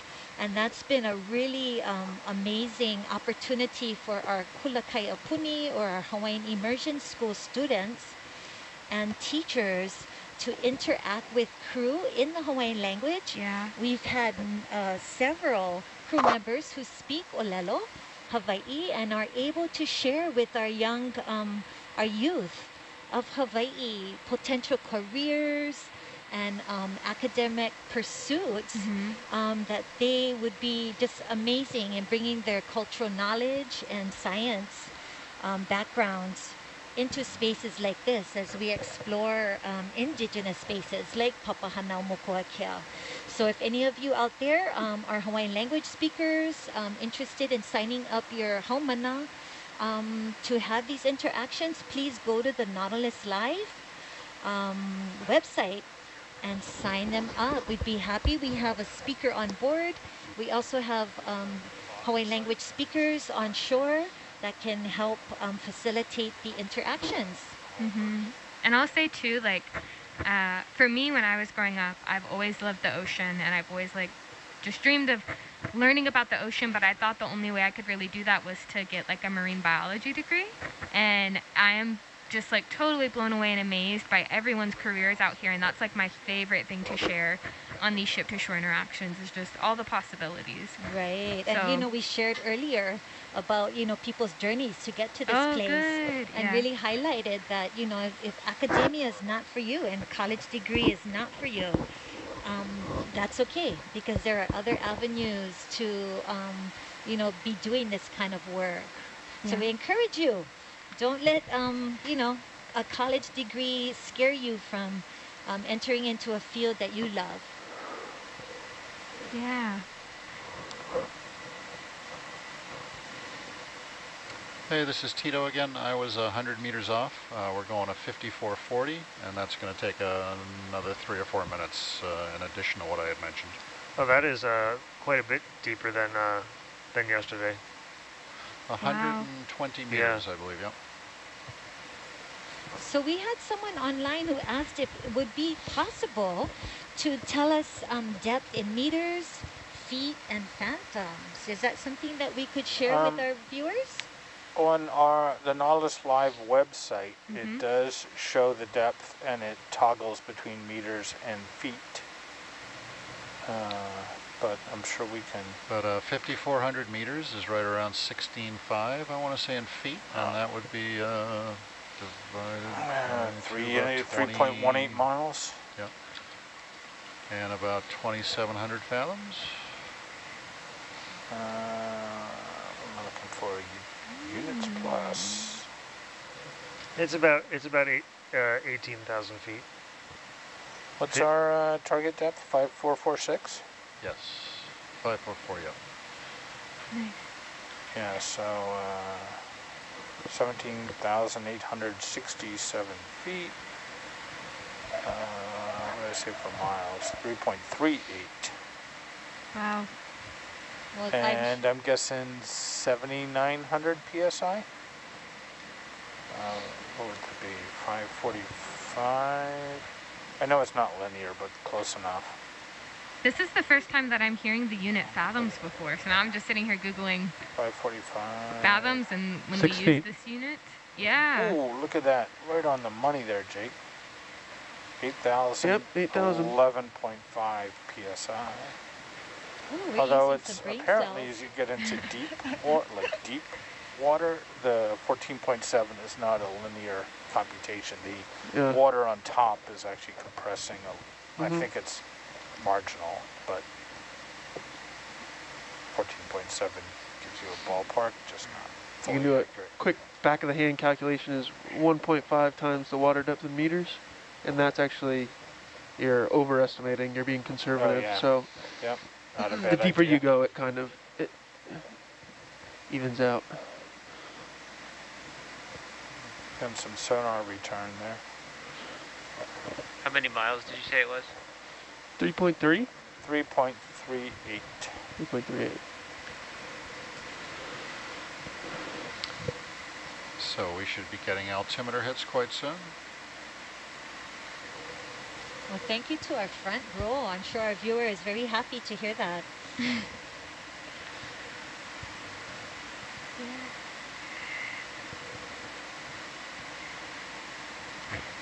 I just want to share something that's, um, I know definitely special for me about just being here aboard EV Nautilus and sailing and even just being in the control van is all the learning that happens. I feel like every single second that I'm aboard the ship. And um, I'm just so grateful for everyone for sharing their knowledge. We've all got um, very unique backgrounds and journeys to coming to the ship, but it's just amazing. And I love this like learning community. And I appreciate people's willingness to be vulnerable and ask questions when they don't know something, and then also being just gracious and teaching if they do. Um,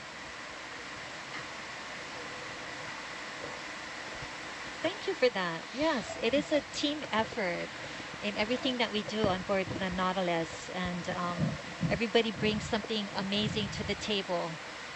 So we hope you folks uh, listening at home are um, enjoying all the different areas of expertise from the staff that are in the control van. And um, we're looking forward to um, a very historic and um, amazing dive on the Imperial Japanese Navy Kaga, part of the Battle of Midway in 1942. I'm starting to see something come in on the sonar. Is that? It's possible. It's Okay. something. We're getting another scan or two of it first. Um, we're about 100 meters off, so yeah, we could start to, s- yeah, it looks like we're starting to see it now. Yeah. Um, we're a little uh, bit off-site. Sonar is set is at 30 good. meter scale, so that's uh, Okay. 125, 130 meters And away. that makes sense. Uh, we're, Yeah. we're about 80 meters off bottom, so um, I think the top of the, I think the top of the tower is about 90 meters actually. And no, no, 90 feet, 90 feet. Okay. Sorry, Tito, I was going to ask, you said the sonar scale is 30 meters? That's Right correct. now, In yeah. between the There's rings? five grades there, so yeah, total of about 150 meters. That we may change that during the dive, though. It's uh, not an absolute. Mm-hmm. We will. I had it on a larger scale just to, just for this. Alti- altimeter showing about 30 meters off bottom.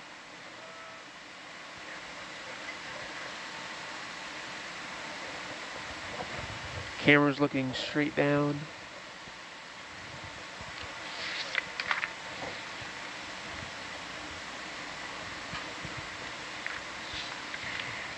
Looks like we're right over the. wreck. Looks like we're right over the wreck actually. Wow. Maybe. Oh yeah. Well, At least we're consistent. We'll plan to have a, a, a minute on the first side of the wreck Sounds to good. say some words. Are you planning to say that, um, Hans? Will you lead that lead us in that? I can do that. Okay, mahalo.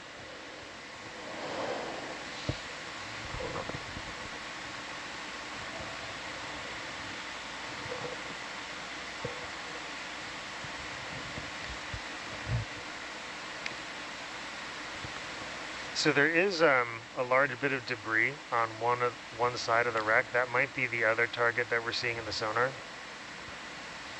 Uh, Um, cut bottom. Yep. Yep. Bottom. Okay. It's strange though that we're not that we're getting a reflection past the uh, past the wreck. Yeah. We, we did see in the mapping data that there was a debris field around it. Okay, cool. Yeah. Do you want to scale down the sonar? Ra- range down the sonar? Oh yeah, it's right in front of us. Wow.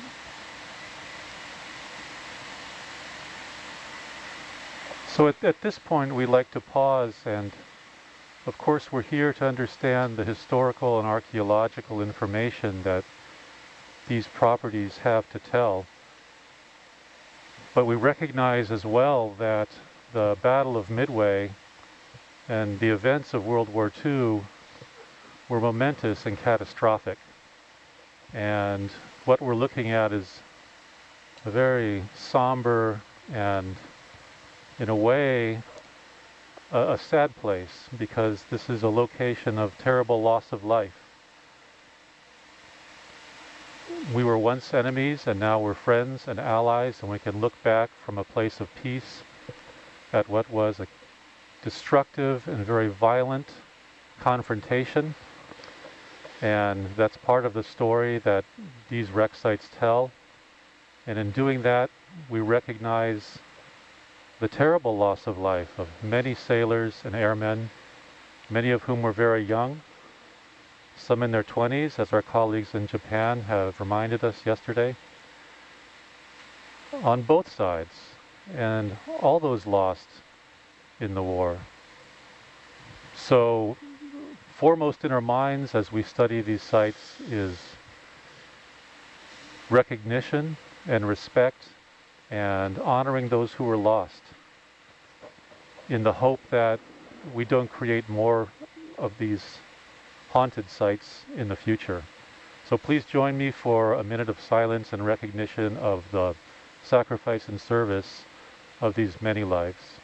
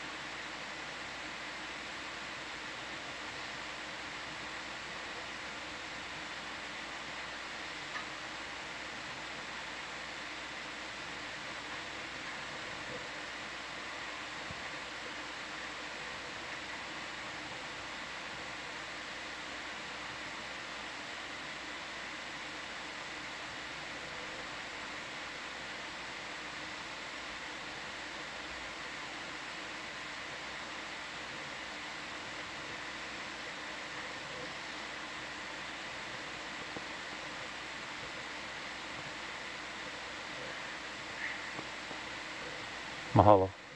Thank you. Thanks, Hans. Mahalo, Hans. Thanks. Mahalo, Coming out of thank you, Auto Iris. Hans. Thank you, Hans.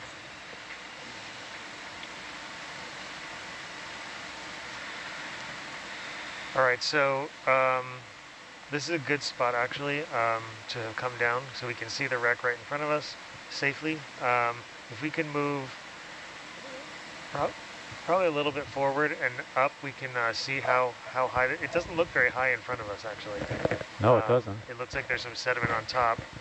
Um, but we'll, we'll slowly, just like yesterday, the last dive, we'll slowly get a sense of where we are. We're somewhere amidships, either port or starboard, and that's about as much as we know at this point. Right.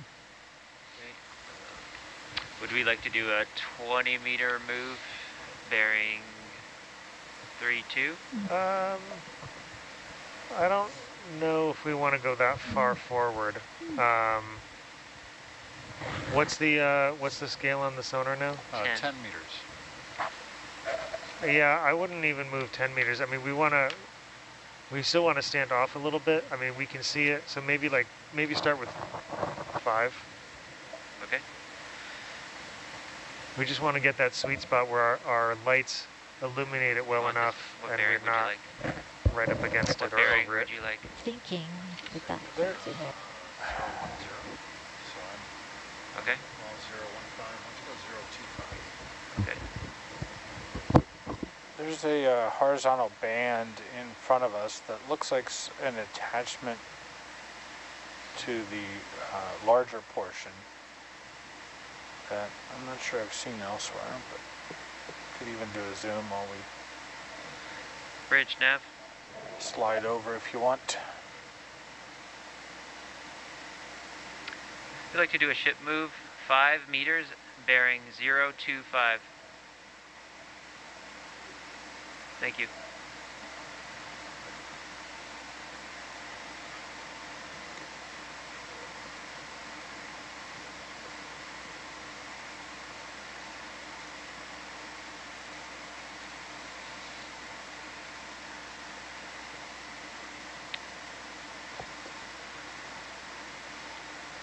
If it is in fact this far buried in sediment, we're not going to be needing to do very many vertical moves. And actually, Right. the, the side scan from um, from the Vulcan Inc., the Petrel survey, it does kind of show it as low relief, doesn't it? There's not much shadow on it. Yes, and, and we also, uh, this morning when we mapped with our multi-beam, we, we really didn't see relief in the bathymetry at the resolution we can measure that from Yeah, this, at this depth. This so. could be um, buried up higher to the uh, the gunnels than uh, than, the, than Yorktown or Akagi. Uh, Ed, I've got some debris in the Yeah. uh, field of view. Would you See push? what that is. Awesome. Yeah, Mike. th- they mentioned buried to the degaussing wires. Hold on. Okay. Runaway zoom, sorry. Runaway again. Mike, you used the word gunnels. What does that mean, or where is that at? on the Uh, ship? the gunnel is like the uh, it's, Uh, a, it's along the deck edge, Oh, um, suck. and it's uh, actually gun whale, but it's just uh, uh, over time uh, sailors shortened it to gunnel, Gunnel. kind of okay. like how forecastle became fo- forecastle. Mm. Yeah, it used to be the whale or Uh, timber that the guns shot over. The gun whale. Oh, yeah, that makes sense. That's what history does to you, Mike. Yeah. Uh, standby.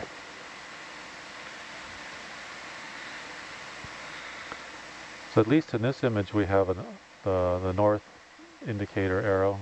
Oh, that's helpful. So I'm trying to guess on our sonar if if up is north on the sonar. Yeah, we're looking. No, we're looking. Um, well, right now we're looking due east.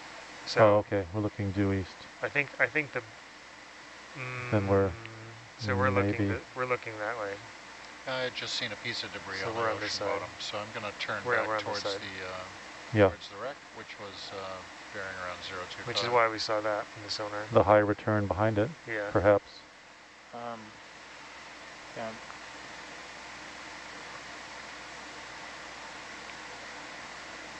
And I think that's supposed to be the stern. Combating Yeah. runaway zooms over here. Right. so- So if we're on this side, this To would this- say suggest the bows to our left. Bows to the left, yeah.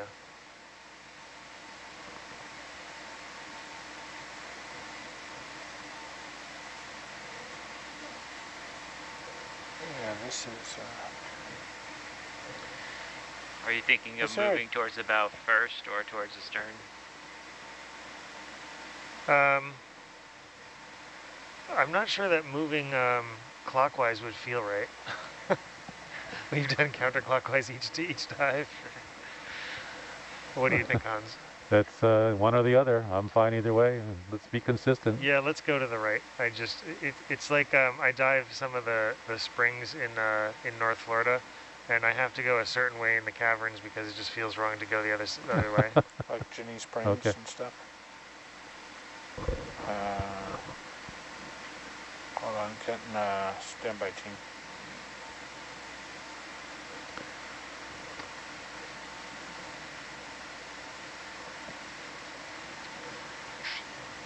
So, uh, getting a report that of the windshield. shore side is having an issue with our streams. A different uh, camera setup once we get down.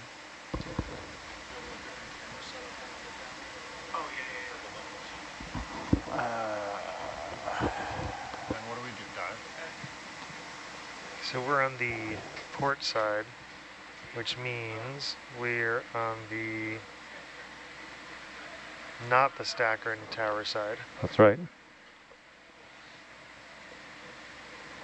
If we're moving aft, you know, this vessel did have those lower 20 centimeter casemate guns Oh yeah, like like all, Akagi did. all towards the stern. Uh, what are you guys looking at over there? Head two. Uh, alright, multiviewer two, pip one, something like that. Oh, thank you. Bet you those are buried. They could be. And boy, the, you know, the, the top edge, I don't even think we're looking at anything near the flight deck. Yeah, This looks flattened. I think. Hey, it's, Nautilus, uh, short side. Yeah, go ahead.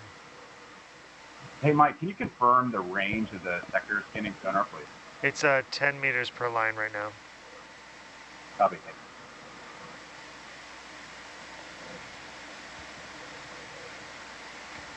Sure, are you able to uh, uh, see uh, video okay? appreciate the question. Uh, video is, is, coming in. We had to do uh, some refreshings on some screens, but currently smooth and really exciting. Thank you.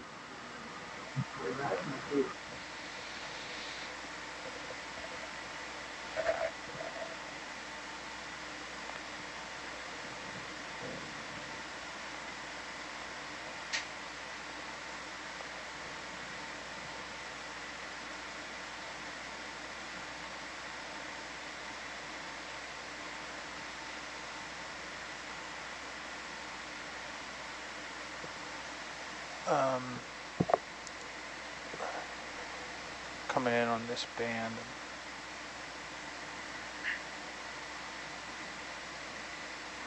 So, sorry, I uh, I do not have control of the zoom motor.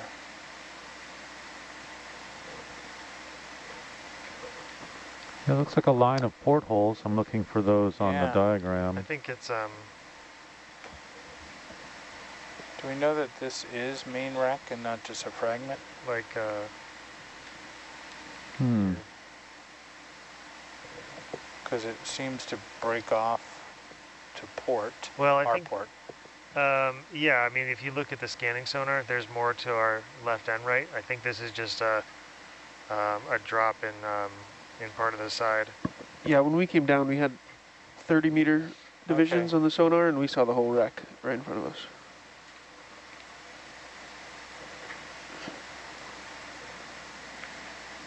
And would you like me to change to 30 meters for a moment or two? I'm, I'm good on about science. But there is a significant piece of the wreck some distance away, um, Tito, off of the starboard side. But I thought we were seeing the the wreck as well on the sonar coming down. Yeah, this is. I mean, if you look at the sonar now, this is this is for sure the main part of the wreck. Yeah. Um, Um, I'm just not, we're just we just need to figure out where exactly we're somewhere amidships. We need to figure out where exactly and how much of it's buried. All And right, it's I'm going surprising. to to 30 meters again. Surprising to see that there's. I think that's isn't that sediment on top? That looks like sediment on top. It's it must have kicked up quite a bit.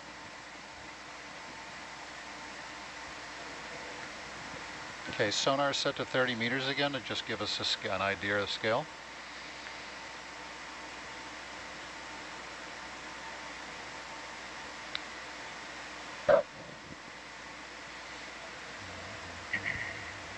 Yeah, the Wreck actually, Wow. maybe.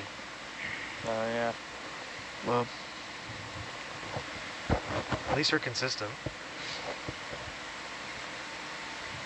We'll plan to have a, a, a minute on the first side of the wreck Sounds to good. say some words. Are you planning to say that, um, Hans? Will you lead that lead us in that? I can do that. Okay, mahalo.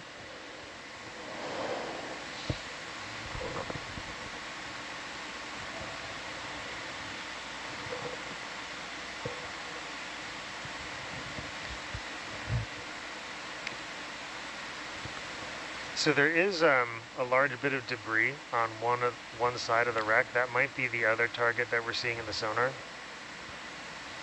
Uh, Um, got bottom. yep. Yep. Bottom. Okay. It's strange though that we're not that we're getting a reflection past the uh, past the wreck. Yeah. we we did see in the mapping data that there was a debris field around it. Okay, cool. Yeah. Go to scale down the sonar. Ra- or range down the sonar. Uh, oh yeah, it's right in front of us. Wow.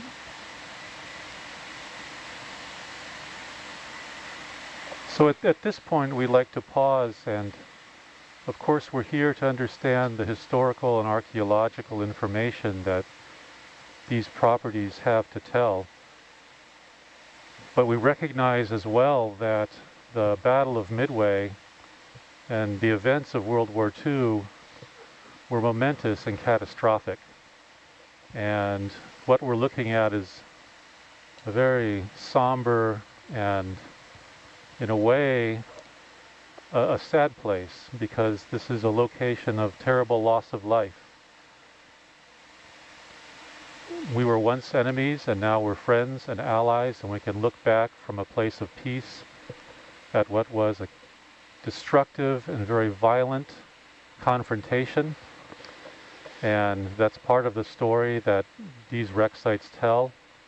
And in doing that, we recognize the terrible loss of life of many sailors and airmen, many of whom were very young, some in their 20s, as our colleagues in Japan have reminded us yesterday, on both sides, and all those lost in the war. So, foremost in our minds as we study these sites is recognition and respect and honoring those who were lost in the hope that we don't create more of these haunted sites in the future. So please join me for a minute of silence and recognition of the sacrifice and service of these many lives.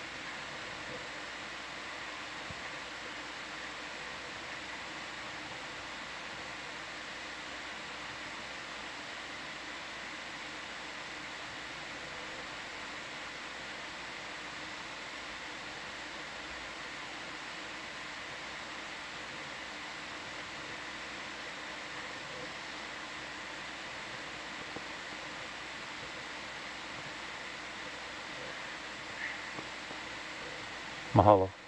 Thank you. Thanks, Hans. Mahalo, Hans. Thanks. Mahalo. Thank you, Hans. Thank you, Hans.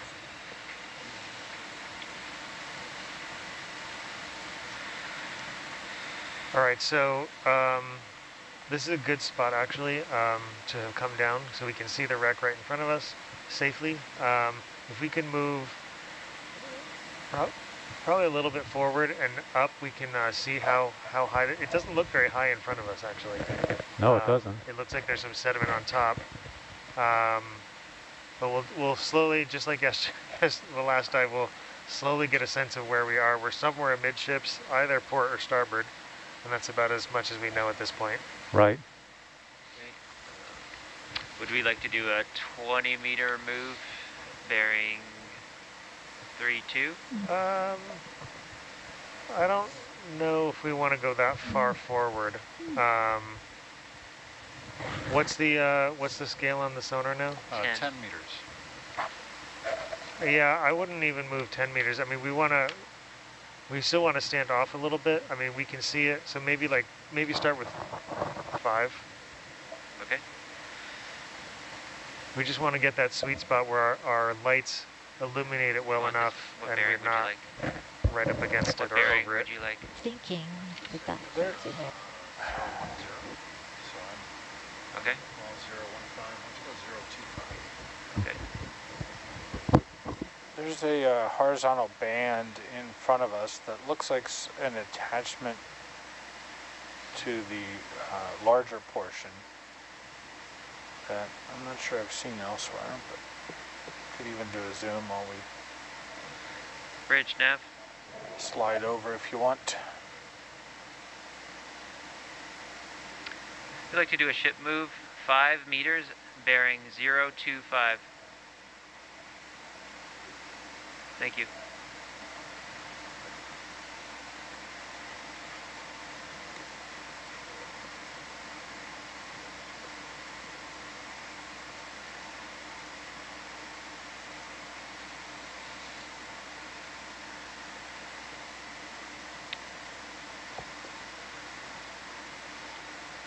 If it is in fact this far buried in sediment, we're not going to be needing to do very many vertical moves. And actually, Right. the the side scan from um, from the Vulcan Inc., the Petrel survey, it does kind of show it as low relief, doesn't it? There's not much shadow on it. Yes, and, and we also, uh, this morning when we mapped with our multi-beam, we, we really didn't see relief in the bathymetry at the resolution. We can measure that from Yeah, this, at this depth. This so. could be um, buried up higher to the uh, the gunnels than uh, than, the, than Yorktown or Akagi. Uh, Ed, I've got some debris in the Yeah. uh, field of view. Would you See what push? that is. Awesome. Yeah, they, they mentioned buried to the degaussing wires. Okay. Runaway zoom, sorry. Run- Runaway again. Mike, you used the word gunnels. What does that mean, or where is that at? on the Uh, ship? the gunnel is like the uh, it's, a- Uh, it's along the deck edge, Oh, um, suck. and it's uh, actually gun whale, but it's just the, uh, over time uh, sailors shortened it to gunnel, Gunnel. kind of okay. like how forecastle became fo- forecastle. Mm. Yeah, it used to be the whale or Uh, timber that the guns shot over. The gun whale. Oh, yeah, that makes sense. That's what history does to you, Mike. Yeah. Uh, standby.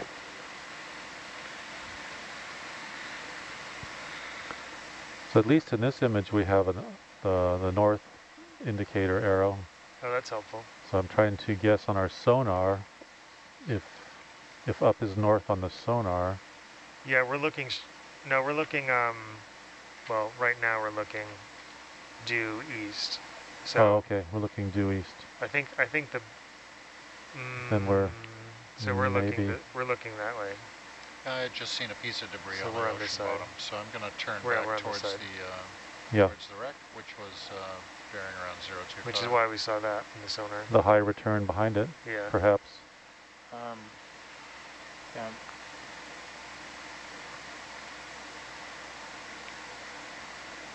And I think that's supposed to be the stern. Combating Yeah. runaway zooms over here. Right. so- So if we're on this side, this So would this- say suggest the bows to our left. Bows to the left, yeah.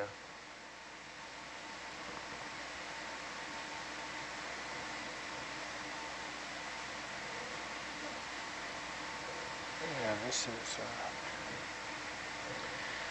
Are you thinking of Is there moving towards the bow first or towards the stern? Um, I'm not sure that moving um, clockwise would feel right.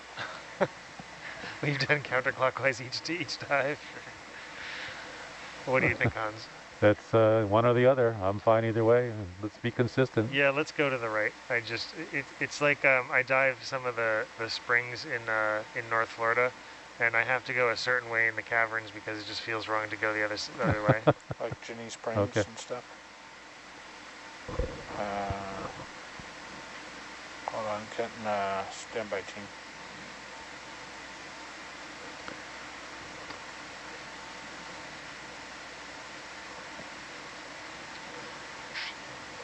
So, uh, getting a report that of the wind shore side is having an issue with our streams. A different uh, camera setup once we get down.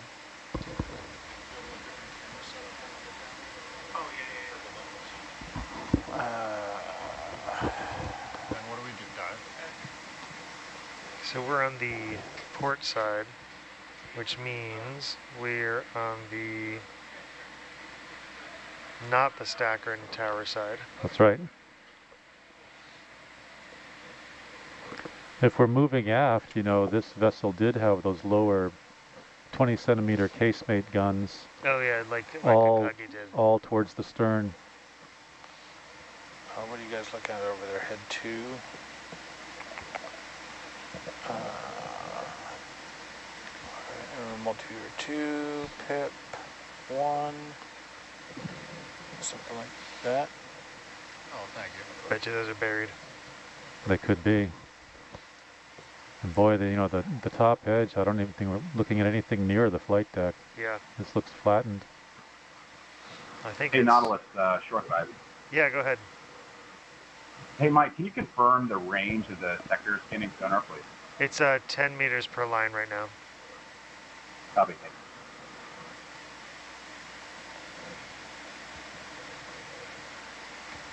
Sure, are you able to uh, uh, see uh, video okay? Appreciate the question. Uh, video is, is coming in. We had to do uh, some refreshings on some screens, but currently smooth and really exciting. Thank you. Um,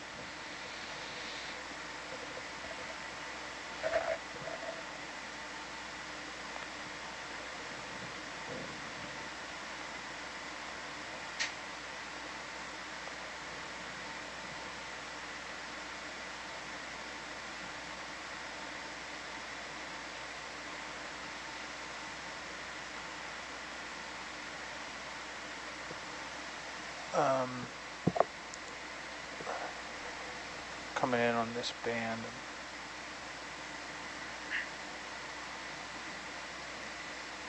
So, sorry, I uh, I do not have control of the zoom motor.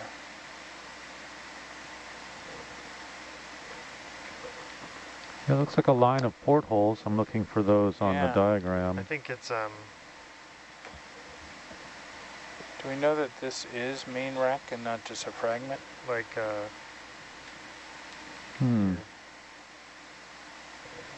Because it seems to break off to port, well, I our think port. um, yeah. I mean, if you look at the scanning sonar, there's more to our left and right. I think this is just a um, a drop in um, in part of the side. Yeah, when we came down, we had 30 meter divisions Okay. on the sonar, and we saw the whole wreck right in front of us.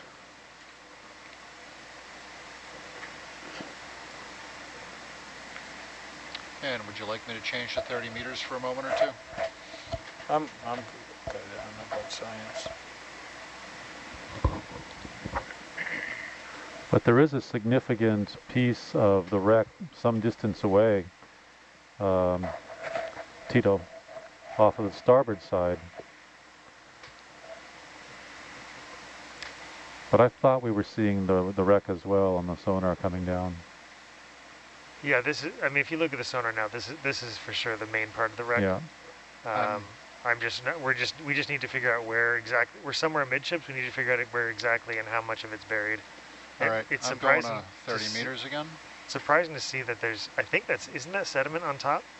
That looks like sediment on top. It's. It must have kicked up quite a bit.